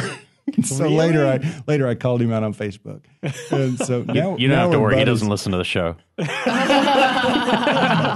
No, I did. I, I Plastic he- spoon he's- head. Later, later he he sent me something on Facebook. He was like, he was like, dude, you know, really great opening. We're so proud of you. And I was like, dude, I read your article. You were a dick. and he was like, oh, you know, it was just, you know, it was, uh, you know, it's like the talk that you have on the the sports team, man. It's just, you know, Right. I was like, Friendly yeah, right, ribbing. yeah, sure, okay. Well, he has since come out on, on Final Destination 4 being uh, a, a bit of a mess. Yeah, that, that's Really? what's Which it is. Yeah. The I fourth mean, one is totally. I thought I always liked it still. It was still fun, but I'm such You're a a huge fan. person. But that's like my favorite franchise ever. I've said this before on Yeah, air that yeah. that's definitely my like. Wait, you was the can't last do- one? The fifth, The the fifth one no, the is fifth awesome. no, no, the fifth one's Fifth one's awesome, great. but was That's it the 3D? I can't remember. Yeah, yeah. It was. totally. It That was one was in really great. select theaters. I remember. That's the one with the Um, opening scene on the bridge. That's Yeah, Yeah, it's it's good. the That was one, one of that the best goes back and kind of Yeah. loops the Yeah, it whole was a thing. really but the smart fourth film. one was the one that opened with the racetrack. right. Right. That's And right. You'd like It's a that. good I always gag. liked it. It's a good gag, but the rest of the movies, you know. We, uh, I mean, they didn't even finish the name. Like, there's characters at the end that are like racist. And, Like, that's the name. They didn't even give the characters names because they're like, well, who gives a shit? Oh, I just Pretty sure. I love the whole series. was it all? Did, did Reddick do the, the original? Yeah. Yeah, he The wrote, first yeah, he wrote Always the him. original. Yeah. Because I, kn- I told him this before, and I think we, we argued about it, even though it's his script. but I, I read a script at Cunningham's because Cunningham was thinking about optioning it. This was way back in the day, and they were adults. Hmm. There were no it kids. could have they were on an airplane, and they were adults. Yeah, it was originally called Flight 182. Mm-hmm. I remember even reading about it in Fango under that title. They gave out tote bags that said Flight 182 that looked like luggage bags. They now sell Really? for But nice isn't that a eBay. very Yeah. common note to get from studios? Like you would write an adult drama and then they're just like, hey, change it to teens. Make them I guess, It could I'm have been a pretty big sure switch. I asked him about it. He was like, "No, it was always teens." Weird. Was like, "Are you lying to me?" We'll ask Craig. That's funny. Yes. He'll set the record straight. Um, so, what about? Uh, why don't we talk about your relationship with Patrick? Because that that you know you Mm-hmm. guys ended up working together quite a bit. Uh, did, did you meet him for the first time on My Bloody Valentine? no, I met him on Messengers. Patrick, Messengers, okay. after I did the first draft on Messengers, he was brought in to be the the uh, director, Okay. and so I did another draft for Patrick, and then he and I were both fired. and uh, Stuart, I think Stuart Beattie was brought in, and he did a. Comp- no? No, no, he was Stuart. I was fired first, and Stuart was brought in, did a rewrite. Then Stuart was fired. Patrick was fired. Then it went into the turnaround, ended up somewhere else. But Patrick and I remained friends all these years, and so then he was doing work on um, on. Uh, he was doing secret work on a movie that we're not supposed to to talk about because neither one of us technically were working on the film, so we can't tell you that it was called The Eye. But then while he was while he was doing reshoots on it, he would. Uh, I talked to him, one- you know, because we would talk every now and then. And he wa- he was stressed, and he was like, "This is not going well." And uh, he said, "Can I send you a scene?" and just get your ideas. And so he sent me the scene, and I rewrote it. and I sent it back, and they shot it the next day. Oh wow. And uh, and we did that back and forth a little bit. And but that was through Lionsgate, and so that's how I ended up getting uh, Right. Valentine. And for those who don't know, he edited a bunch of Wes Craven's films Yeah. Yeah, before yeah. directing. Yeah. Yeah. For a while, yeah. Most all the Scream films, right? Yeah, all the screen. All the Scream, Scream, the Dracula ones, I Mhm, believe. Mm-hmm. Yeah. Yeah, Um, every everything that all of Wes's best movies. If you look, Patrick Lussier is attached as you know Red Eye. Is it Red Eye?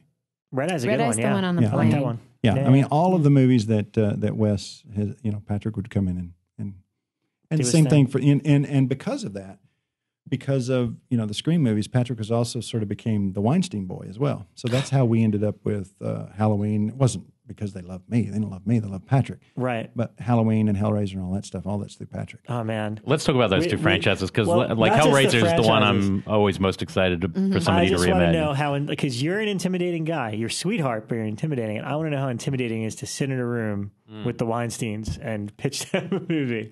I- I never did. It was always over the phone. It was all we never had to go to them. They never had to come to us. It was we would get on the phone with them and say what we were doing. They wanted Drive Angry for for back in the back in the day, hmm and so um, we were set to shoot Drive Angry in January. Bob wanted to do Halloween before that, Mhm. so we we had the we had the script all worked out. I, I locked myself in the office and I wrote it in like I think it was seven days. While Patrick is hiring and, and Gary Tunnicliffe's coming on and we're we're in we're in post production. You're in the thick of it, and and two is still in two is still in theaters because I remember what I remember was. You know, two was out for the Rob Zombies. Two was out Mm-hmm. for like a month or so, and at the very end, I mean, there was some big screening. They they had a 4K version of it, and they had the whole cast, and uh, Malek Akkad was there and everything. And at the end, in the Q and A, they'd already announced that oh, the Weinstein says they're doing Halloween three, and he, even he was kind of surprised, like, well, let's let's not get ahead of ourselves just yet. You know, we haven't really talked or announced that yet. But um, that's my memory of it. And at that point, I heard it was kind of full steam ahead. Yeah, we were we were we were going strong, and then we turned the script in one day early, and I think if we hadn't done that, we would have been in trouble. But um, what uh, basically at the end of the day, there was not enough time to shoot that movie before we went into production on, on Drive Anger, and Drive Anger was our out. Yeah. And and Bob was basically like, if we go into production and it goes wrong, not only am I going to screw you over, uh, I- I'm going to screw up your next movie too. And he said, I won't do it on purpose. I love you, but it's what's going to happen. And so Wow. we just Man. did. So the idea was to come back after Drive Angry, and then go from there. And by the way, Malek through all of this, Malek was awesome. Yeah. I mean, I, I, I, the moment I met Malek, I adored him. He, he's, he's, he was perfect. Yeah. But uh, then we came back after Drive Angry, and they said, "Yeah, what about uh, let's let's look at uh, Hellraiser." uh, okay. Yeah. And you guys were on that for quite a while, right? Yeah, we uh, Hellraiser. We they wanted to do a remake, and we said, "No, no, you we're not. We, I mean, if you want to do a remake, you go to somebody else. We're not going to do a remake." Uh, we said we will tell a story that takes place in in that world, Mhm. but uh, because it's a very rich world there, we'll Yeah. do that. And so we ended up, and I, I'll just tell it now. I think I've held it a secret too long, and now you know, it's not. gonna. He hasn't we- even had a drink of rum. Yeah. when we went in and uh, and and sold it, it was basically the idea was we sold it by three three posters, and we said the first poster is Bill Fichtner sitting in basically a throne, and he's you know there's light from above, and so he's casting shadows, and he's got a gun. He's got the gun sticking because it's going to be in 3D. He's got three 16 penny nails sticking out of his forehead, and little trickles of blood coming down. And up above it, it says the rabbit. Hmm. And then the next poster was you know the cube, and it says the hole. And then there was Ah. a poster that combined the two, and it said, "How far are you willing to go?" And uh, the- Wow. the whole idea was, and the way that we set the script up is that we are telling, we're basically telling the story of Pinhead, how Pinhead became Pinhead, and it's it's a it's a battle to save a daughter, and it's it's you know it's a it's a father and daughter kind of thing, and then they're sort of at odds, but they love each other, and it's a whole this thing going on. And he's trying to get inside the world of the cube, and and uh, by the end of the movie, you meet Pinhead, who is now the engineer, and it is years and years later. And it's Doug. It was going to be Doug Bradley. I mean, that was the whole thing. So that you think you're you're getting the origin story, but you, then you realize, oh no, no, no, this was never the origin story. Pinhead actually is down there and alive, and so it was, and so it was kind of an oh shit moment, and uh, we loved it. And uh, they read it and they loved it, and then they came back to us and said, "Can you make it younger?" Mm, There's that note. Yep, the teens. Actually, I said I think it, it was a father and daughter. We started out as a husband and wife Ah. that were at odds, and so we rewrote it as a father and daughter and gave her a bunch of friends. And they loved it. This is it. This is the movie we want. This is perfect. We loved it. but you know what? We love that Final Destination. That Craig Perry guy. He's awesome. and so um, we ended up doing. Uh, uh, we weren't going to do it. We said, no, we're not going to. We're not. You know, we're done. We're not doing this anymore. And everybody's like, look, just just get it done. And so we did the Final Destination version. Which is what, just like abrupt deaths out of nowhere? It was just all teenagers. Being and it was, stalked by Cenobites.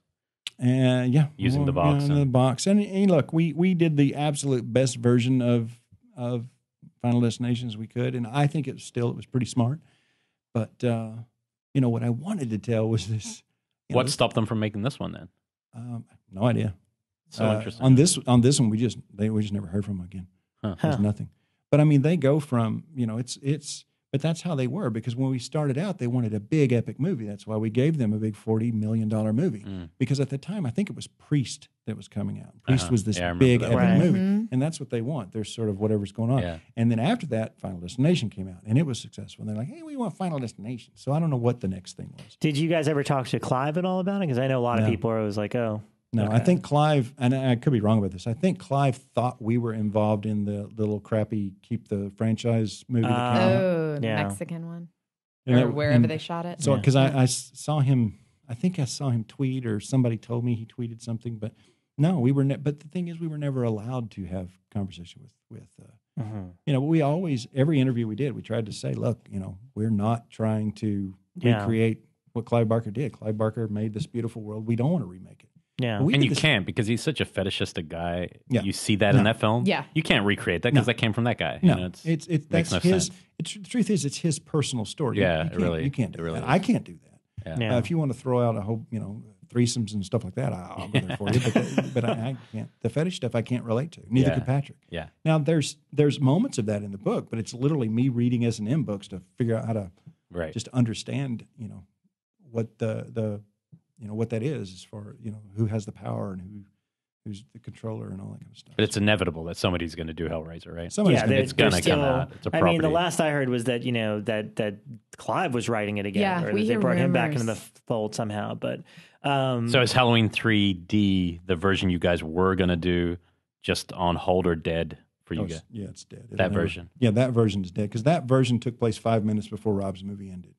Oh, And so the first 30 minutes of that movie was actually the third act of Rob's movie. okay. And so at the end of that third act, we killed Michael Myers. Oh, Just wow. ki- killed the shit out of him. Wow. And so um, I think we sent him off of a, a off of the top of a dam. He's tied into an ambulance and he's on fire, and you see the mask melting to his face. And then later, you know, it's a year later. Laurie's in an institute, and you come to a a, a uh, Halloween store, and uh, they're stocking for Halloween. And this one kid says, "Hey, we, you know, they're pulling out, eh, pulling out, open all these old boxes, and like, we got this one mask left. Should we just toss it, or are we going to try to sell it?" And it's it's the Jim T. Kirk mask. Mhm. And then he turns, and you know, Michael's standing behind him, and he takes it and he puts it on, but you know, to cover this thing that's melted to his face now. And so he's become the monster. But then he becomes a shape, and for the rest of the movie, he's the shape, but he's in Tyler Mane's body. right. That And was is he going back after Laurie Mhm. in the hospital? But you're not sure if Laurie's changed, or if she's a, if she's with him, or if she's not with him. And so it was it was great, and we did it to be contained and inside the most of it was inside the hospital. And Keeping was- the zombie mythology or, or, or going back to the We origins? the first 30 minutes was zombie mythology Uh-huh. and when we when you get when it goes to a year later it's john carpenter's the shape Wow. That Nice. sounds fun. I want yeah, to that see would that movie. cool. Plus, you guys would have probably squeezed Tom Atkins in there somewhere. yeah he was yeah Yeah, I love that. See, He had a Tom great- Atkins. he had came a back great- Tom Atkinson- Atkins he had a again. great He's even too. better in 3D. Tom Atkins in 3D is twice as good. yeah Let's talk about that guy because he, when you guys brought him on to My Bloody Valentine and obviously Drive Angry, I was under the assumption he was retired at that point, or, or He was, was. he? He was. So how did you guys get him back out to do the movie? because he lived in pennsylvania that's where we were shooting Oh, and cool. uh, patrick was a huge huge fan of his Yeah.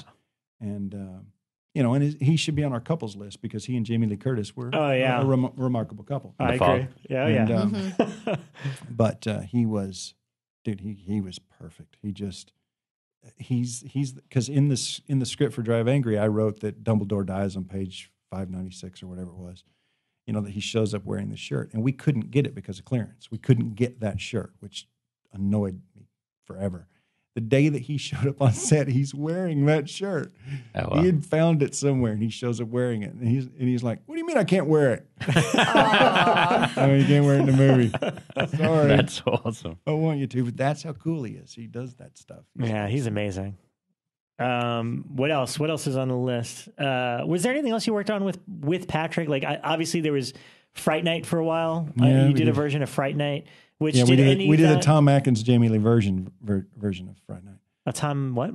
Tom Atkins? Yeah, it was going to be. Uh, it was. It took place. It it was more a, I guess, a sequel because.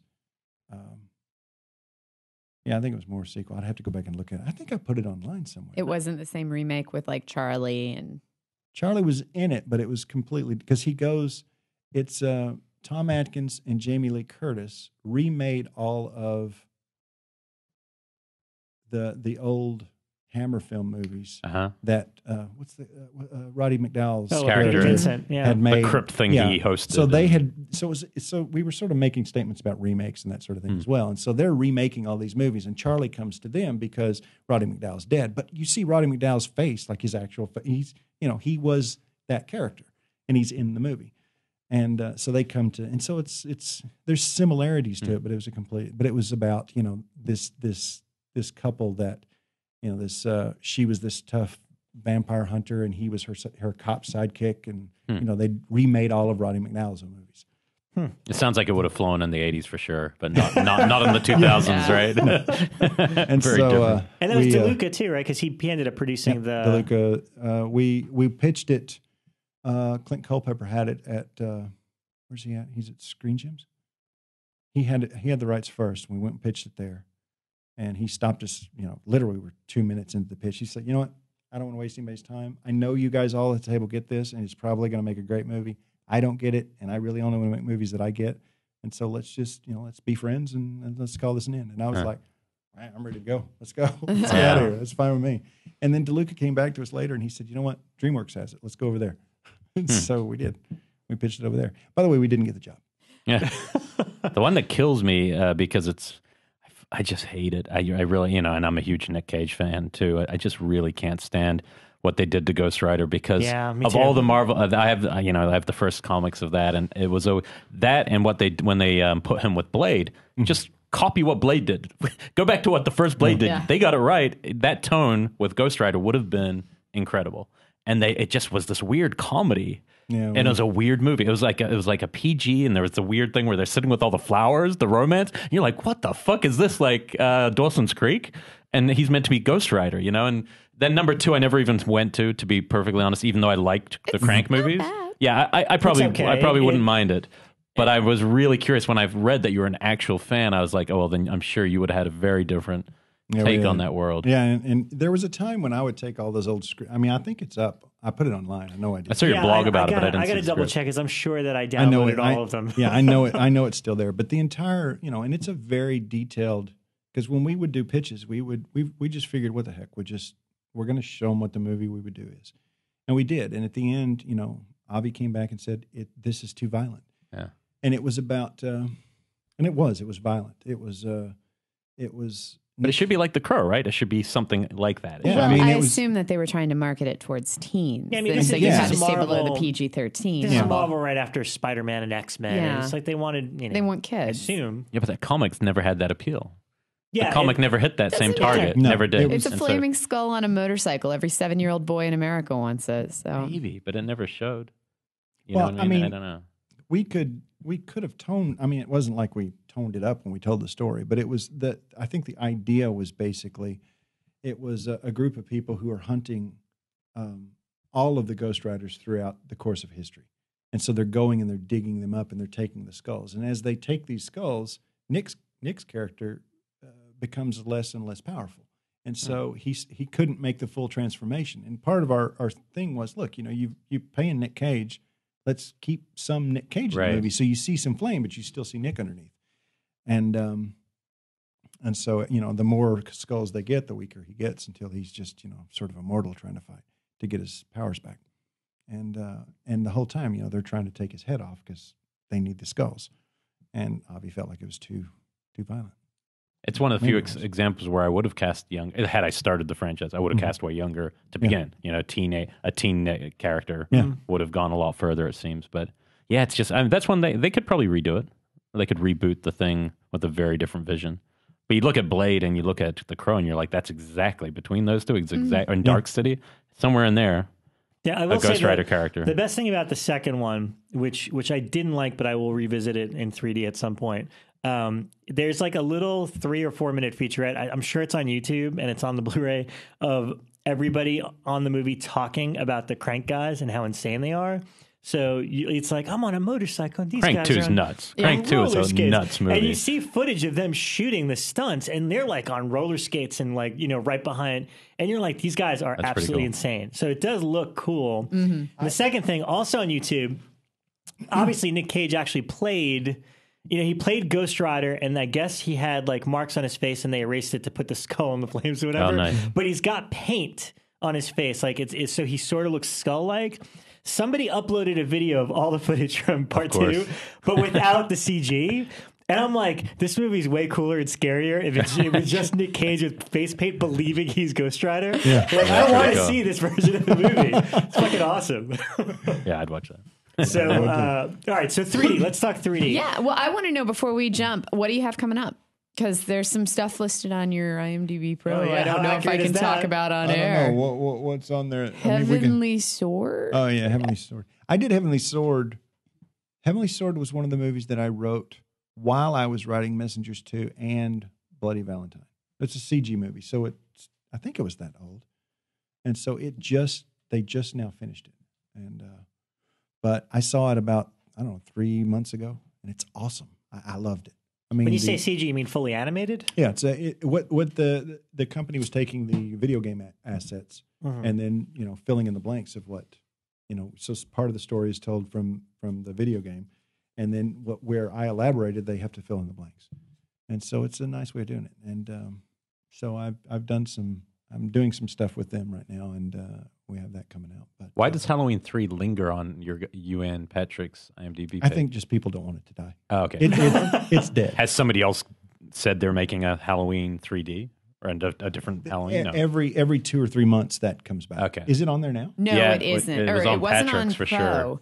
I downloaded your Pro this afternoon and it was not on there. Yeah, I wouldn't think that it it, it shouldn't be on there. I mean, they could uh, they could go do it, but they don't they don't have to do it with us. The other one that is on there that is listed as announced is Zombie. Fuck Oh, yeah, that's- Can I talk about that one? Yeah, Okay, what is? Zombievers? You're doing the Zom- Zombeaver film? Oh my Zombie Fuckador. I don't know.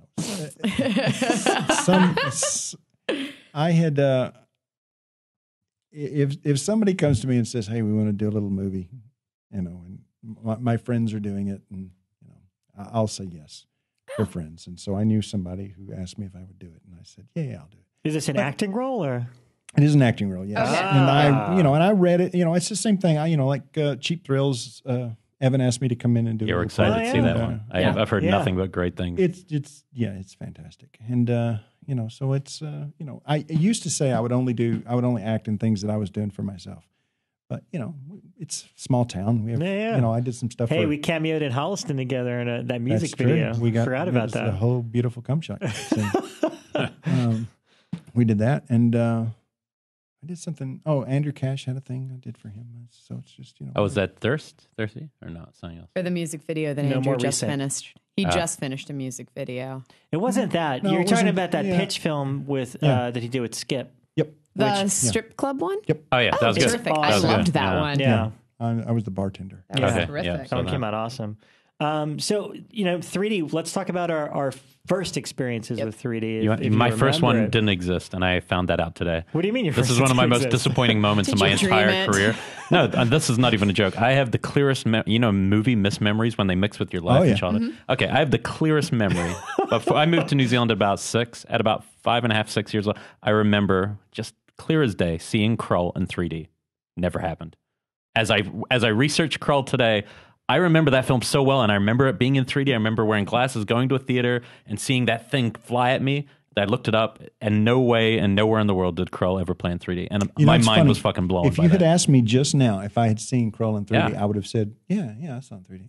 I'm telling you, I really There's another so. movie though. There has. There's It must another be another that we're thinking of. fantasy that was really similar Were one of the phantasms in 3D because it's got the same kind of Should be. blady looking It should thing. be. It should be, but it's Yeah. not Phantasm. now. And that's something I want to. I do want to talk about why so many movies who arbitrarily use 3D, just Um, you know, for useless reasons. And then there's these other movies where you're watching a movie and go, "Man, that film Cube in 3D Oh, would have yeah. been Yeah. fucking Would've been amazing." amazing. I, I am. I am seeing a 3D movie in my head that's reminding me of. Krull. I, I don't know what it is. It's, a, it's I- got to be a fantasy because unless unless I'm wrong, unless it did play somewhere, but they didn't do post was a. Fa- conversion. it was a fantasy. It was a then. fantasy. It was. It was blue and red, red and green, red and exactly pink, the, whatever gla- it is. the old glasses. I- I'm telling you, if somebody could crack this for me, that would be huge because uh, it's one of the strongest rem- film memories I had in my life. Man, Was I can Laser Blast see, in 3D? I haven't seen Laser Blast as far as I know.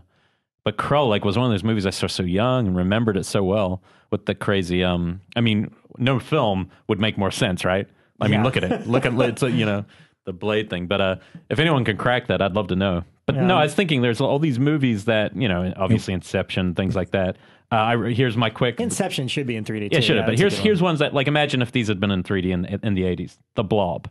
There's a movie that would have been even better. It's Oh, awesome yeah, anyway. yeah. Uh, From Beyond. If those se- here's my thing about 3D. If it's the otherworldly stuff, those sequences are gonna fucking fly. Yeah. Uh, maybe not the scenes with scientists talking, but the uh, Killer Clowns from Outer Space. The the end of the Beyond. Imagine if Fulci's film ended in 3D and suddenly you're in this. Uh, and then the biggest one, which you've now just told me you guys were going to do, and I didn't know, is Hellraiser. Uh, nothing makes more sense than Hellraiser's world opening up into 3D. So you're not necessarily wearing the glasses the whole Right. time, but when you do, and that's what I'm thinking. I think 3D.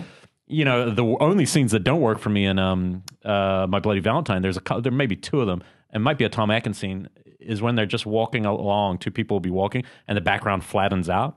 It's just purely a technical thing, but it's like those are the parts where you think, yeah, it'd be better without glasses. You know what I mean? Where the depth is funky. But it, with these movies where you open up a world, that's like you know, Gravity obviously wasn't really about the 3D as much as it was about just this world, but it was the first film I think I've ever seen in 3D, which totally made sense. Like I totally get what this is for, you know? And so I, I think my problem is when they're just arbitrary, like, you know, back in Friday 13th or anything where it's just about passing things mm-hmm. or the, the cheap scare. And I didn't think, I think Drive Angry is, you know, probably one of the closer action films I've ever seen to justifying the whole thing. Because again, it, he's from a different, he's coming from a different place. He's return. I, and, and to be honest, the uh, slow motion, uh, having sex while shooting four bad guys or however many bad guys is hard to repeat. I have a theory of what you saw instead of Krull. Okay, I here had we to go, do here some research to, mem- to remember it. Lucky I talked so long. Just. Metal Storm.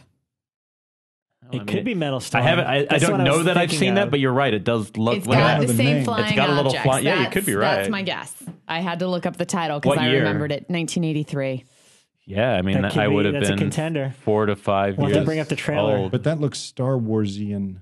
I don't recall having seen it, but you never know. It's not really Star Warsy. Is it not? Is it Um, more? I got to see it. Yeah, I, Yeah, I we'll haven't have to- seen it we'll since like gotta see it. 1983, but I don't remember it being really Isn't it weird, Star though? Warsy. I remember it being darker. Could they post convert Krull now into 3D? Yeah, If they had could the money, convert They anything. could. Let's do that. What What do I I mean, the truth is that's probably the future. Well, I- I've been saying that for Yeah, years, but right. the, the future is eventually we're going to have Jaws in 3D. We're going to have. Yeah. We're Yeah. not going to want them, and Right. people are, and the fanboys are going to bitch like crazy. But Right. that's what's going to happen. ET will come out in 3D RoboCop and all that? Yeah, because the technology will catch up. Right now, we don't have the technology. The problem with 3D, you know, we we we always expected that because we came out. You know, Lions uh, Lionsgate at the time they made some good money off of us, and, and we expected there would be a sequel. For for a, a string of reasons, we didn't get one. But um, all of these other movies, we and we couldn't get a job, by the way, because people would say, "Oh, well, you know, it's that's a it's a fad, it's a fluke. You know, you got you know, 3D is not going to last." Yet every studio in the in the world were doing 3D movies, and as a result, you had a bunch of this conversion stuff happening, and it wasn't good. yeah, the Yeah. conversions are really And poor. uh, Yeah. you know, you had you know, you Craig and those guys were coming along with Final Destination, and they were shooting in 3D. Yeah. and you can tell the difference. Yeah. And then you have what was it? Uh, uh, Clash of the Titans comes out, and you can tell that's oh yeah, conversion. That Yeah. was rough. Yeah. And and people spent their money and they went and they got pissed off. Mm-hmm. And uh, but you know, a lot of people made money. Yeah. A lot of studios made a ton. But of But money also doing it. costs more to go to the movie. costs Like you more. actually pay more for your Yeah, ticket, you which is crazy. But think about the money that they've made just within the past years for doing conversions on Jurassic Park and Right. re-releasing Yeah. Titanic as 3D or um, Nightmare Before Christmas. They did the 3D release of that. Well, See, th but those have like you know, they like something like Clash of the Titans. It was there wasn't time. It, Yeah. ju- it was a last minute decision. Like, Still. let's see if we can make more money by converting it Yep. and get it out by that date that we wanted, now you guys are regardless. stressing me out. You know, Jura- sorry, the- Jurassic Park was an example where they took the time and care, and quite frankly, Jurassic Park looks great. It looks- does. Did you see it's, it? It's yeah. It's uh, that's the other thing I show people when they come I haven't over. seen that yet. I'd like to I see show that. them the Tyrannosaurus Rex It's a little scene. beautiful. and we also opening can't of My ruin those Valentine. movies because they already exist and we already love them. Yeah. So Yeah. by doing True. Jaws, But- then who cares? I'll watch it in 3D, and if I like it, I like it. You know. And like, but with something like My Soul to Take, Mm-hmm. I mean, it was Yeah, a bad was movie. a- they knew that they were trying to save it, so they put it in 3D, but it had no business. That is Oh, that was the delay. my worst 3D converted movie it. ever. Yeah, well, especially because it's a talkie film. It's Yeah. a lot of talking. You don't want to see talking in 3D. I mean, that really is the worst part of you know a 3D Yeah. film. Yeah, but anyway, so my, my feeling in general, I mean, look, Freddy's Dead did. bo- I mean, Freddy's Dead bothered me. You know, it's a pretty cool, trippy scene now when you go back, but it's a terrible fucking But I hate that it's just that scene. yeah, that it's w- like they, and I've told you that I was the dumb kid who wore them the whole time. Yeah. and I looked I around that. and I was like, going, "What the? This is shitty." Like, and I kept looking at other people around me. But that was my first 3D movie, so Yeah, it it probably was definitely early it holds like a special place in my heart because it was the very first one I ever saw in 3D, and I saw it at a drive-in. Mm-hmm. Um, because in my tiny little town, we didn't even have like a full-size theater at that point. We just had the drive-in. So yeah, it just holds such a special place for me because of that. I'm sorry. My Yeah. first, my, I remember my very first 3D experience, and it- I mean, it- the memory of it is better than the actual thing. But uh, they were showing Creature of the Black Lagoon on regular network That's cool. television, and you had to go to 7-Eleven to Yeah. get special glasses for it or whatever. And So that. how does that work? Because he, that's I was thinking about that. I remember seeing a couple on TV, but how does that work? I mean, because now you have a 3D TV, which is very different. How are they pulling that off on TV with Well, those same was glasses? the it was the red and blue Right. process, but, It- hardly any of it was in 3D because I remember there was a moment where the, the cre- I, I did the same thing. It was on TV. And Yeah. I remember the creature swimming didn't up from the depths. And, and if you had the glasses on, then it looked a little bit 3D for a moment and then it was gone. yeah. It didn't. It, did, didn't look good at all. It No, was it's terrible. horrible. But that was my first thing, and you know, I love the Universal monster movies, and I was so excited about it. Um, but it wasn't. It, honestly, and it's funny because the more I think about it, it's like Michael Jackson is always like the, the pivotal moment. It wasn't until I went to like Epcot Center and saw Captain Mm-hmm. EO for the 1st time that I was like, "Holy shit, that's what 3D is supposed to look like." There's like you know nails coming at me and stuff, and all sorts of crazy shit. So as a kid, that's what I remember. Yeah. Now in retrospect, I have rewatched The Creature now in the new version. yeah, they put it you out know, in theaters too lately. they, they put it out in theaters, and the version in the Universal box set is formatted for 3D Oh, cool. TVs. Oh, I have to it's watch- beautiful. Well, because he swipes great. right at the camera. Swipes at Yeah. the camera. There's a lot of depth gotta in the water. Uh, Really? You know, yeah, it's great. So You- it was you- completely converted, though, right? It was converted for the the modern glasses. The yeah. 3D TV. But it looks Okay. great. I mean, you know, you guys are all welcome to come over and we'll watch it. But uh, and, and I always tend to find the older movies are interesting watching them now on the modern setups because I have House of Wax, the Vincent Price one, which looks great. Um, by a director who could only see in 2D. he, I he know, that's could blind in one eye, had no depth perception. Yeah. which I love. it's it's interesting just seeing because older movies have a lot more grain to them, so that's the only slightly distracting thing. Whereas like newer movies are just Mm-hmm. Because you know because it's digital, it just it looks perfect in the depth and everything. But House of Wax looks good. There's this great yo-yo gag that's just amazing. Did they do? Yeah, that's the start of the film. Did Dial they do M for Flesh for Frankenstein? I don't know about that Paul one. Di- Dial M for Murder is another one that's out now on 3D. Yeah, that, that's that got a, some great sequences. You know, but um, but yeah, I mean, I Piranha 3D, I thought for the modern one, w- what I liked about it was the silliness. Like usually that's the opposite of what I look for in a movie, but in that one it was just so unabashedly like, no, I'm going to show you two naked girls romping underwater in 3D now, and it, and I totally could appreciate them just going, no, we're not even Sir trying John to make. Gulager. Yeah, well, no, the first one, No, no, the the, first one. Aja. Oh, the one- the 3D, the, original. second one, I Yeah. can't, I Which is can't funny comment because on. I will argue that I like the second one better than the first one because at least the Gulagers have a sense of humor, which Alex Aja definitely does not. I thought the first one was really funny. Yeah, He- I- he it doesn't think had it's some funny, though. moments. I thought it was really funny. Are you guys talking about first 3D movie you saw or first 3D in the theater? Both. Both. Yeah. First 3D I saw was either House of Wax or Creature, but uh, Well, we know we saw think- Krull together. Yeah, in Memphis. that's true. that was good. I think first theater was probably Friday the 13th. Friday Thirteenth Three. You saw that one in theaters. Yeah, I saw that one in theaters. I can't remember what was before that. Was Jaw- Jaws 3D was around that time too, 3D. right? I remember yeah. seeing that on Because I TV. did I'll see, look I did see. that. Was Jaws before? I'm looking Friday it up That was now. another They were big around the TV same one. time. I remember Friday Jaws the 3D on 13th TV. was always really good at ripping off whatever was going on. So my guess is Jaws was first. Yeah, Yeah, probably. That would, if I had to guess.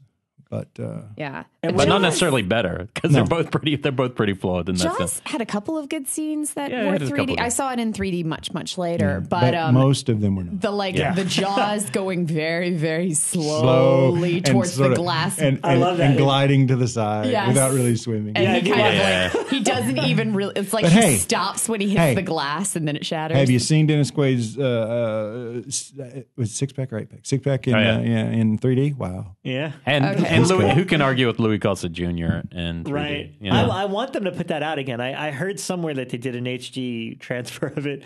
So That'd I'm, I can only imagine they're going to put Jaws 3D out at some point. um, Friday the 13th 3 was before Jaws Really? 3D. Yeah. 1982 versus 1983. yeah, I believe Wow. that. That's IMDb, which isn't but always right. Jaws but 3D was probably announced first, and they just rushed. yeah, That's- yeah, let's get true. it done. The Mask, the one we watched, we watched that at Jump Cut Oh, on yeah. 16 Oh, mil. that was That film without the 3D, the dream sequences are like this crazy Mario Bava stuff. If that had been in 3D, those are the parts that because it Would've keeps awesome. the gag is put the gla- the mask Put on the now, which means on put your now. glasses Glasses, on, yeah. and it, those scenes would have been amazing if if I'd seen them in 3D. They I think they reminded would me have of been like Vorkapich, where uh, getting old here. What Like he directed all these trippy montages from the 20s and 30s, and they were very much like him, which just would have kicked ass. Yeah, no, I mean, look the- up your Vorkapich people. I'll look up some work. of that. I got I got to work on that. I'm dropping the ball. Um, but it, I, I don't know. I think it needs to either be like completely just for fun, unabashed. This is fun, like where the where a blade's coming right at you. There's da- a nude woman's dancing, swimming, or it needs to be, or it should be used. Somebody should look at it and like, how can I use this to evoke a whole another world? Especially in horror of all the genres. It's like, Well, we always went into. We always felt like 3D was the, the roller coaster. We felt like it was supposed to be fun. Cameron came in with a completely different logic behind Right. it. I don't hate his logic because now that I've see now that I'd seen what it could do, I understand that you can have a very voyeuristic, a very Mm. interesting movie based on the 3D experience without. And, and Cameron, you see, you go watch Avatar. There are moments when shit should be coming out of the screen and it ain't because Yeah. he does. He won't do it on purpose. huh, interesting. And uh, but he'll give you the depth. Yeah. And uh, but yeah, I, the thing is, it's just like anything else. It's just like the amusement park. You know, I Yeah. don't I don't want to just ride the roller coaster. I, I want to ride the Cameron Avatar every now and then. Right. right You know, yeah, and yeah. I want to ride the Bloody Valentine, and I want to ride the Final Destination. I want it. You know, I want all the rides when I go. And so I don't. You know, the whole debate over 3D needs to be this or needs to be that. You know, I'm just happy that the cameras got smaller Right. because you know Yeah. we we the cameras we started with on Valentine were they were size of a refrigerator, and we were taking them down in a mine where everybody had to duck because you know Oh my God. Do you still need the two cameras, or is it just you, know, the you same? still you still need to, for for each eye, Okay, and, and they got smaller. But even in Drive Angry, people were like, "Why did you use the Charger?" Well, because it had the biggest back seat. Hmm. Because you got to get a big camera camera Hmm. in there, and uh, and we tried other cars, and the camera wouldn't fit. And so, but the cameras keep getting smaller and smaller. But they are, you know, they they used to be side by side. Now they're they're like you know, and then you you separate it later. But uh, you know, you still need the two eyes. It's it's basically you're creating a mechanical human that sees like a mechanical human sees, so that we see 3D. I'm so annoyed now that there's no William Fichtner uh, Hellraiser movie. Oh my god, Because he's so freaking good That- and Drive. Angry. Your description of that poster. is Well, just let's go Yeah. back. Let's go back to talking about the the best horror film um, uh, couples, and I think Uh-huh. it's a tie. I think it's it's it's me and Betsy, me and Amber, and me and Fichtner, a three way tie. but me and Fichtner would maybe edge out to be, you know, Nice. Yeah, he's really great. he is great.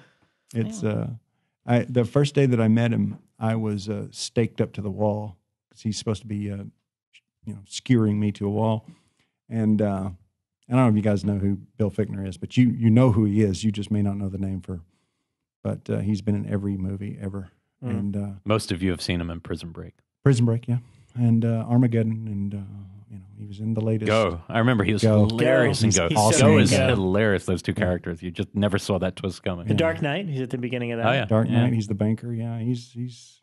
You know, He's very um, intense. He just keeps keeps things Yeah. moving. He has And that energy. It, you know, and even on set, he's an intense guy, and so he's one of those guys that you feel like you need to just stay away from.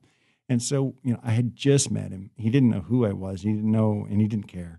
And so I'm staked to the wall, and he's supposed to do this little little flourishy kind of move where he sort of pretends to stab me into the wall, and he's and he had the real baseball bat, And he said, I, you know, I'm afraid I'm going to hit him. And we had a, didn't have a lot of time, and I was always very conscientious of time and that sort of thing. And so he, he's going to do it. And Patrick's like, just do it. You'll be fine. Just just go to the right. You know, the camera's over here. You won't see anything. He's like, I'm, you know, I really would like to use the fake one. And Patrick was worried that the fake one looked fake. And I said, Bill, and I'm sort of, and you guys aren't going to be able to see this, but because I'm, you know, I'm hanging up on the wall, and so I'm, Bill, I'm just put it right here and I'm flipping him off.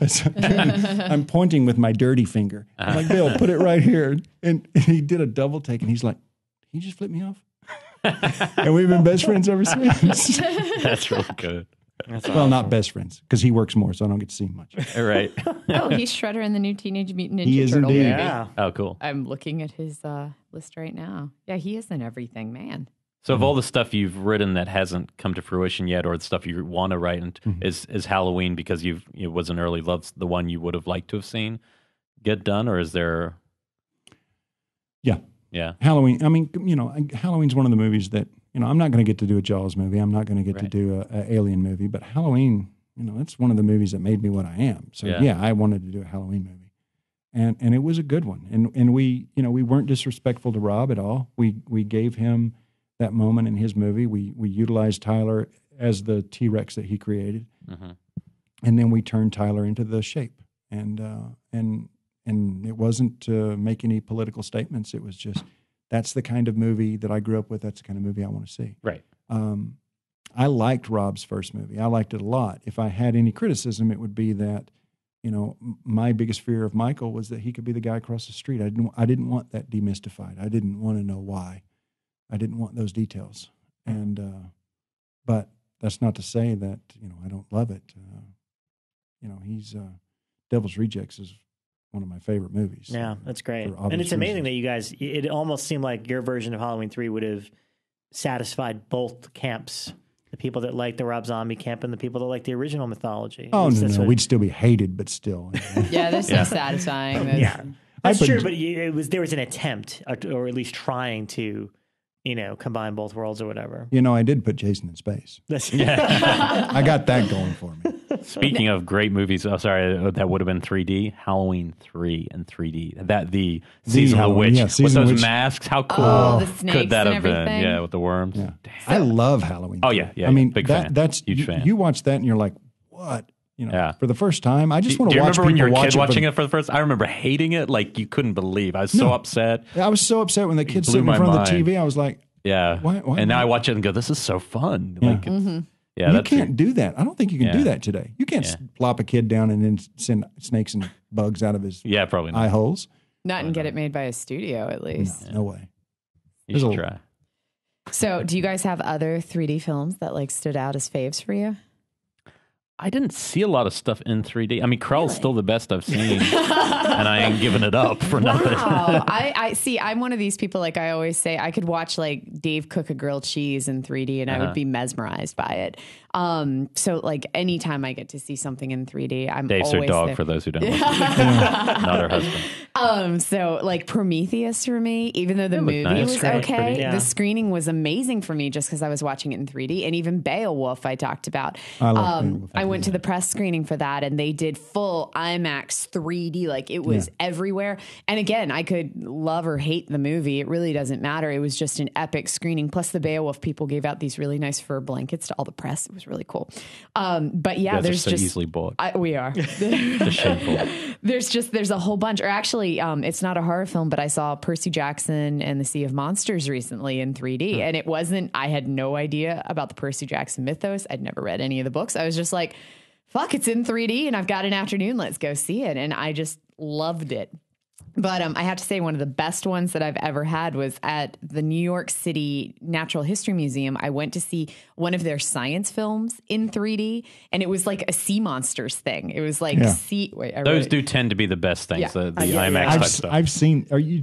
Yeah, I've Sea seen the Monsters, sea monster. a prehistoric adventure Yeah, is I've what it's that. called. And it was like in full, like, you know, 30 foot tall IMAX and it wrapped all the way around my head. And it was the coolest thing I've ever was. seen. And I walked out Why? because I was there with a five year old and she was freaking out. She was like, in the middle of the movie, she's like, "This movie is not good," and so we had to leave. I took a date to. I wasn't married at the time, and I remember I took a date, and I was like, "We're going to see prehistoric sea monsters." I think it was like 3D two years ago, right? It was 2007. I even I looked up the date. It played Oh, on so the I took my circuit. two-year-old to it. It played on the circuit for quite a while. It's not like the the science movies aren't quite like our normal industry Yeah, movies they where like stay- they stay play for for two months and then they're gone and we never hear from them again. They stick around for a while. So Yeah.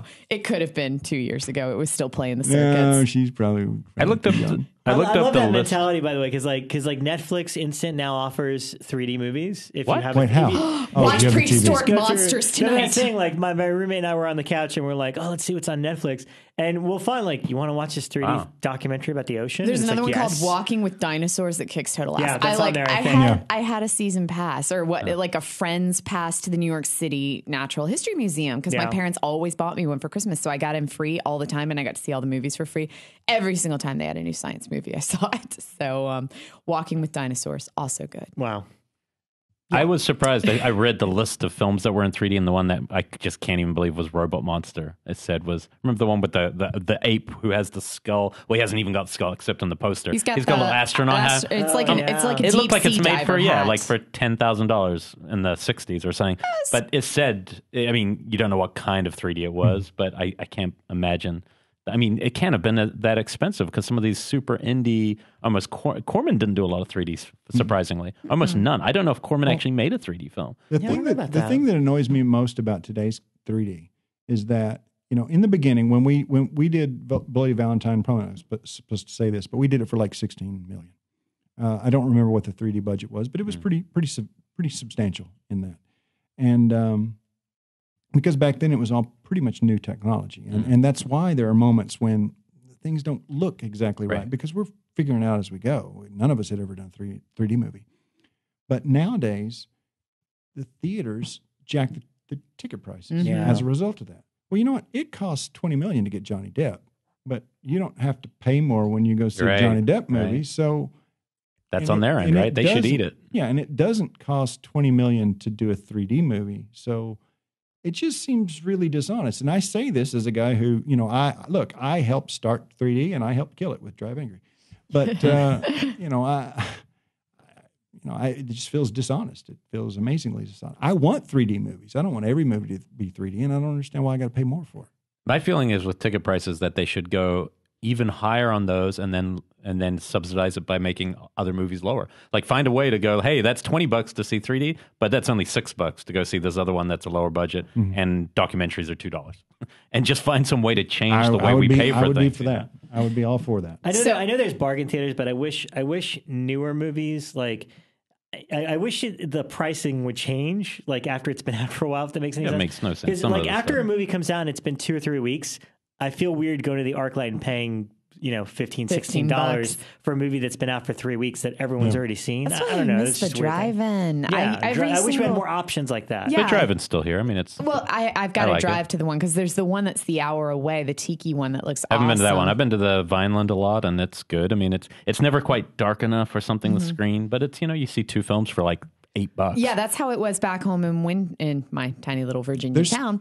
Um, is there's it one was on Vineland. five dollars a person, and you would Vineland. see two Well, movies. Vineland uh, City of Industry. It's called. Yeah, it's City of Industry. called it's about Vineland 45 Drive-In. minutes out, so which might be worth the drive since I don't get to go to a theater anymore unless they get allow um, With people for 11 kids. months old. That's the thing with people with kids. It's good, and Mm. Suckers. but my question, since it's currently in theaters, has anybody seen Nurse 3D yet? we can't because it's freak. I it's tried so playing hard this weekend. It's not playing in LA. It's playing in Orange County Are you only. serious? Yes. Yeah.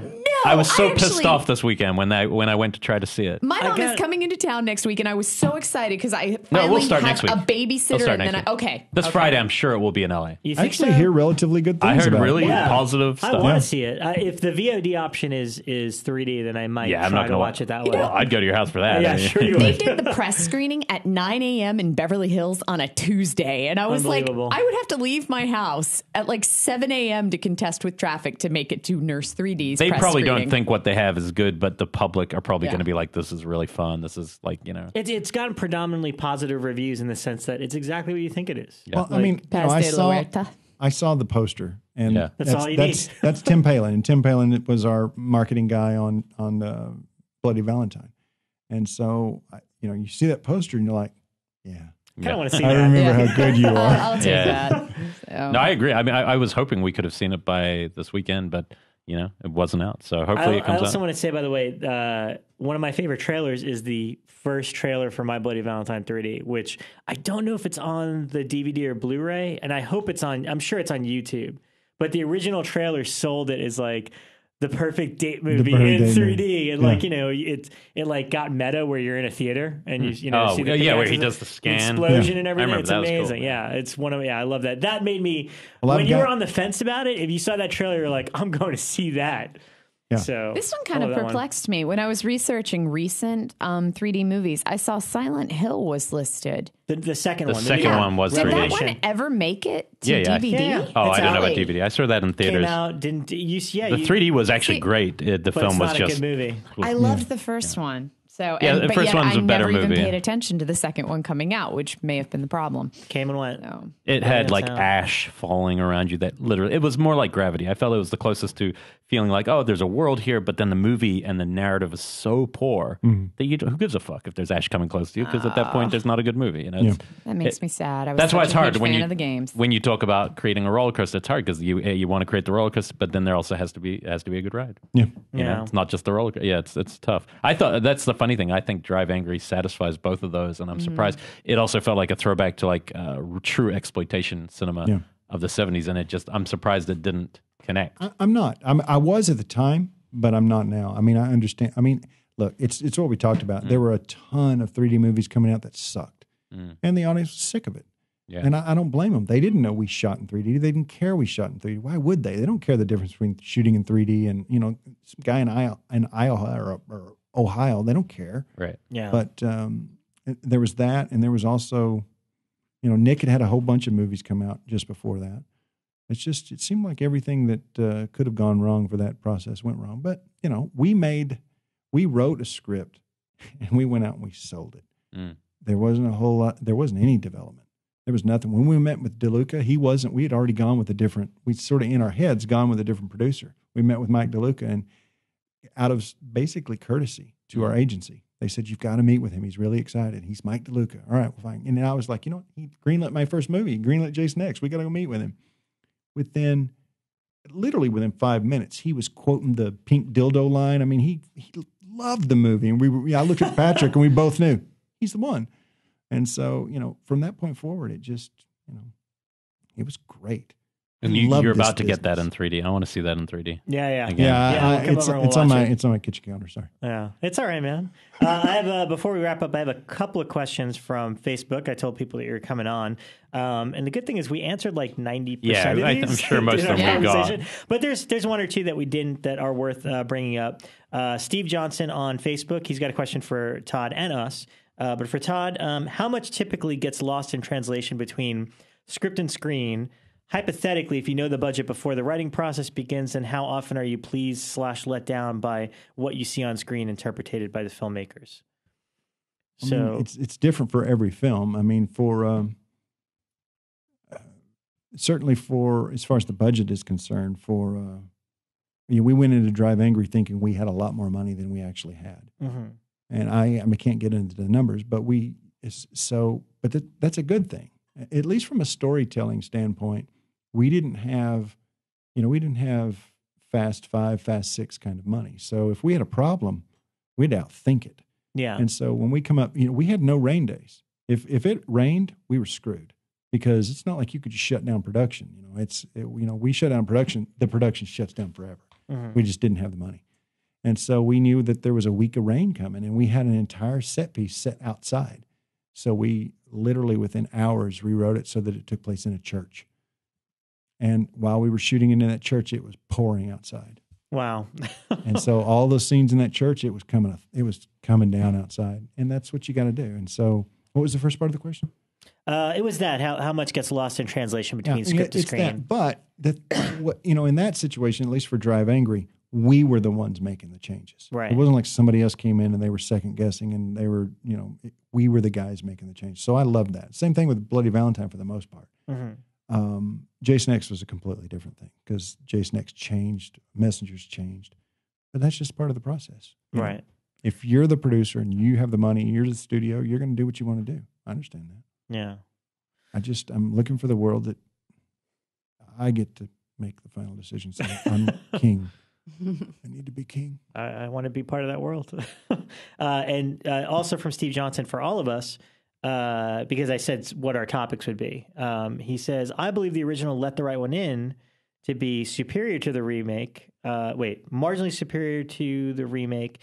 Uh, but I view the horror couple of Owen and Abby in the remake as more eloquent, sympathetic, and endearing than the one of Oscar and Ellie in the original.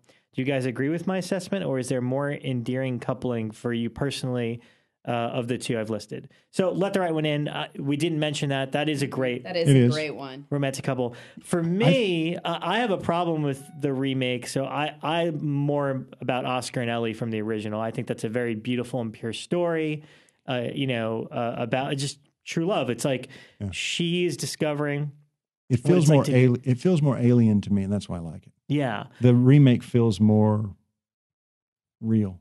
Yeah, it's. And it's we were not talking as- about that beforehand. Accessibility of films, how some films kind of, you know, you feel at arm's distance, and Mm-hmm. therefore it kind of it either, you know, creates a tone of I don't get it, or a it's kind of aloof, and Yeah. that's how the original was for me. But Yeah. I liked it. Yeah, I like it It's same reason. kind of Yeah. magical, the first one, and kind of like a fairy tale. Also, like we can never underestimate the power of seeing the first thing. Yeah, And those two came close. It's like when you're when you're remaking something from like 20 years before, it's a totally different thing. Yeah. When Yeah. you're making something a year later, and you, That's and people are so so aware of how good it was. Yeah. And then and the thing is, I thought the film that the American version was like literally, I thought it was probably one of the best directed films I'd seen that year, and yet I still didn't like it that much Mm-hmm. because the other one was so good. I just looked at it like I could kind of step out of it and go, he made a really, he did a great job as a director on this, but Yeah. I don't care that much because I already am kind of in love with this other one.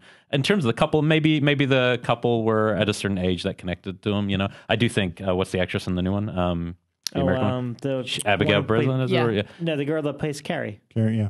It's uh, oh, her name that's not Abigail. Chloe Breslin, Moretz? Chloe- Chloe Chloe Uh, Moretz. Moretz. she's. Yeah. I think that's probably the reason. I think probably because she's just so good and she's shining She through at a young age and is connecting to you know. They, they just changed the reasoning behind their connection in both versions, and and like I, I didn't like what they defined in the remake. Yeah. Whereas I felt like it was more pure in the original, where it's like she was looking for a part of her humanity through the boy, Right. And he was looking for just to not be afraid and be strong, which is what she tried to teach him. I don't know. I just I think the origi- original is one of my top ten movies of the last decade. It- it I is. I It's one of the most Let the Right One In original- so much. Yeah.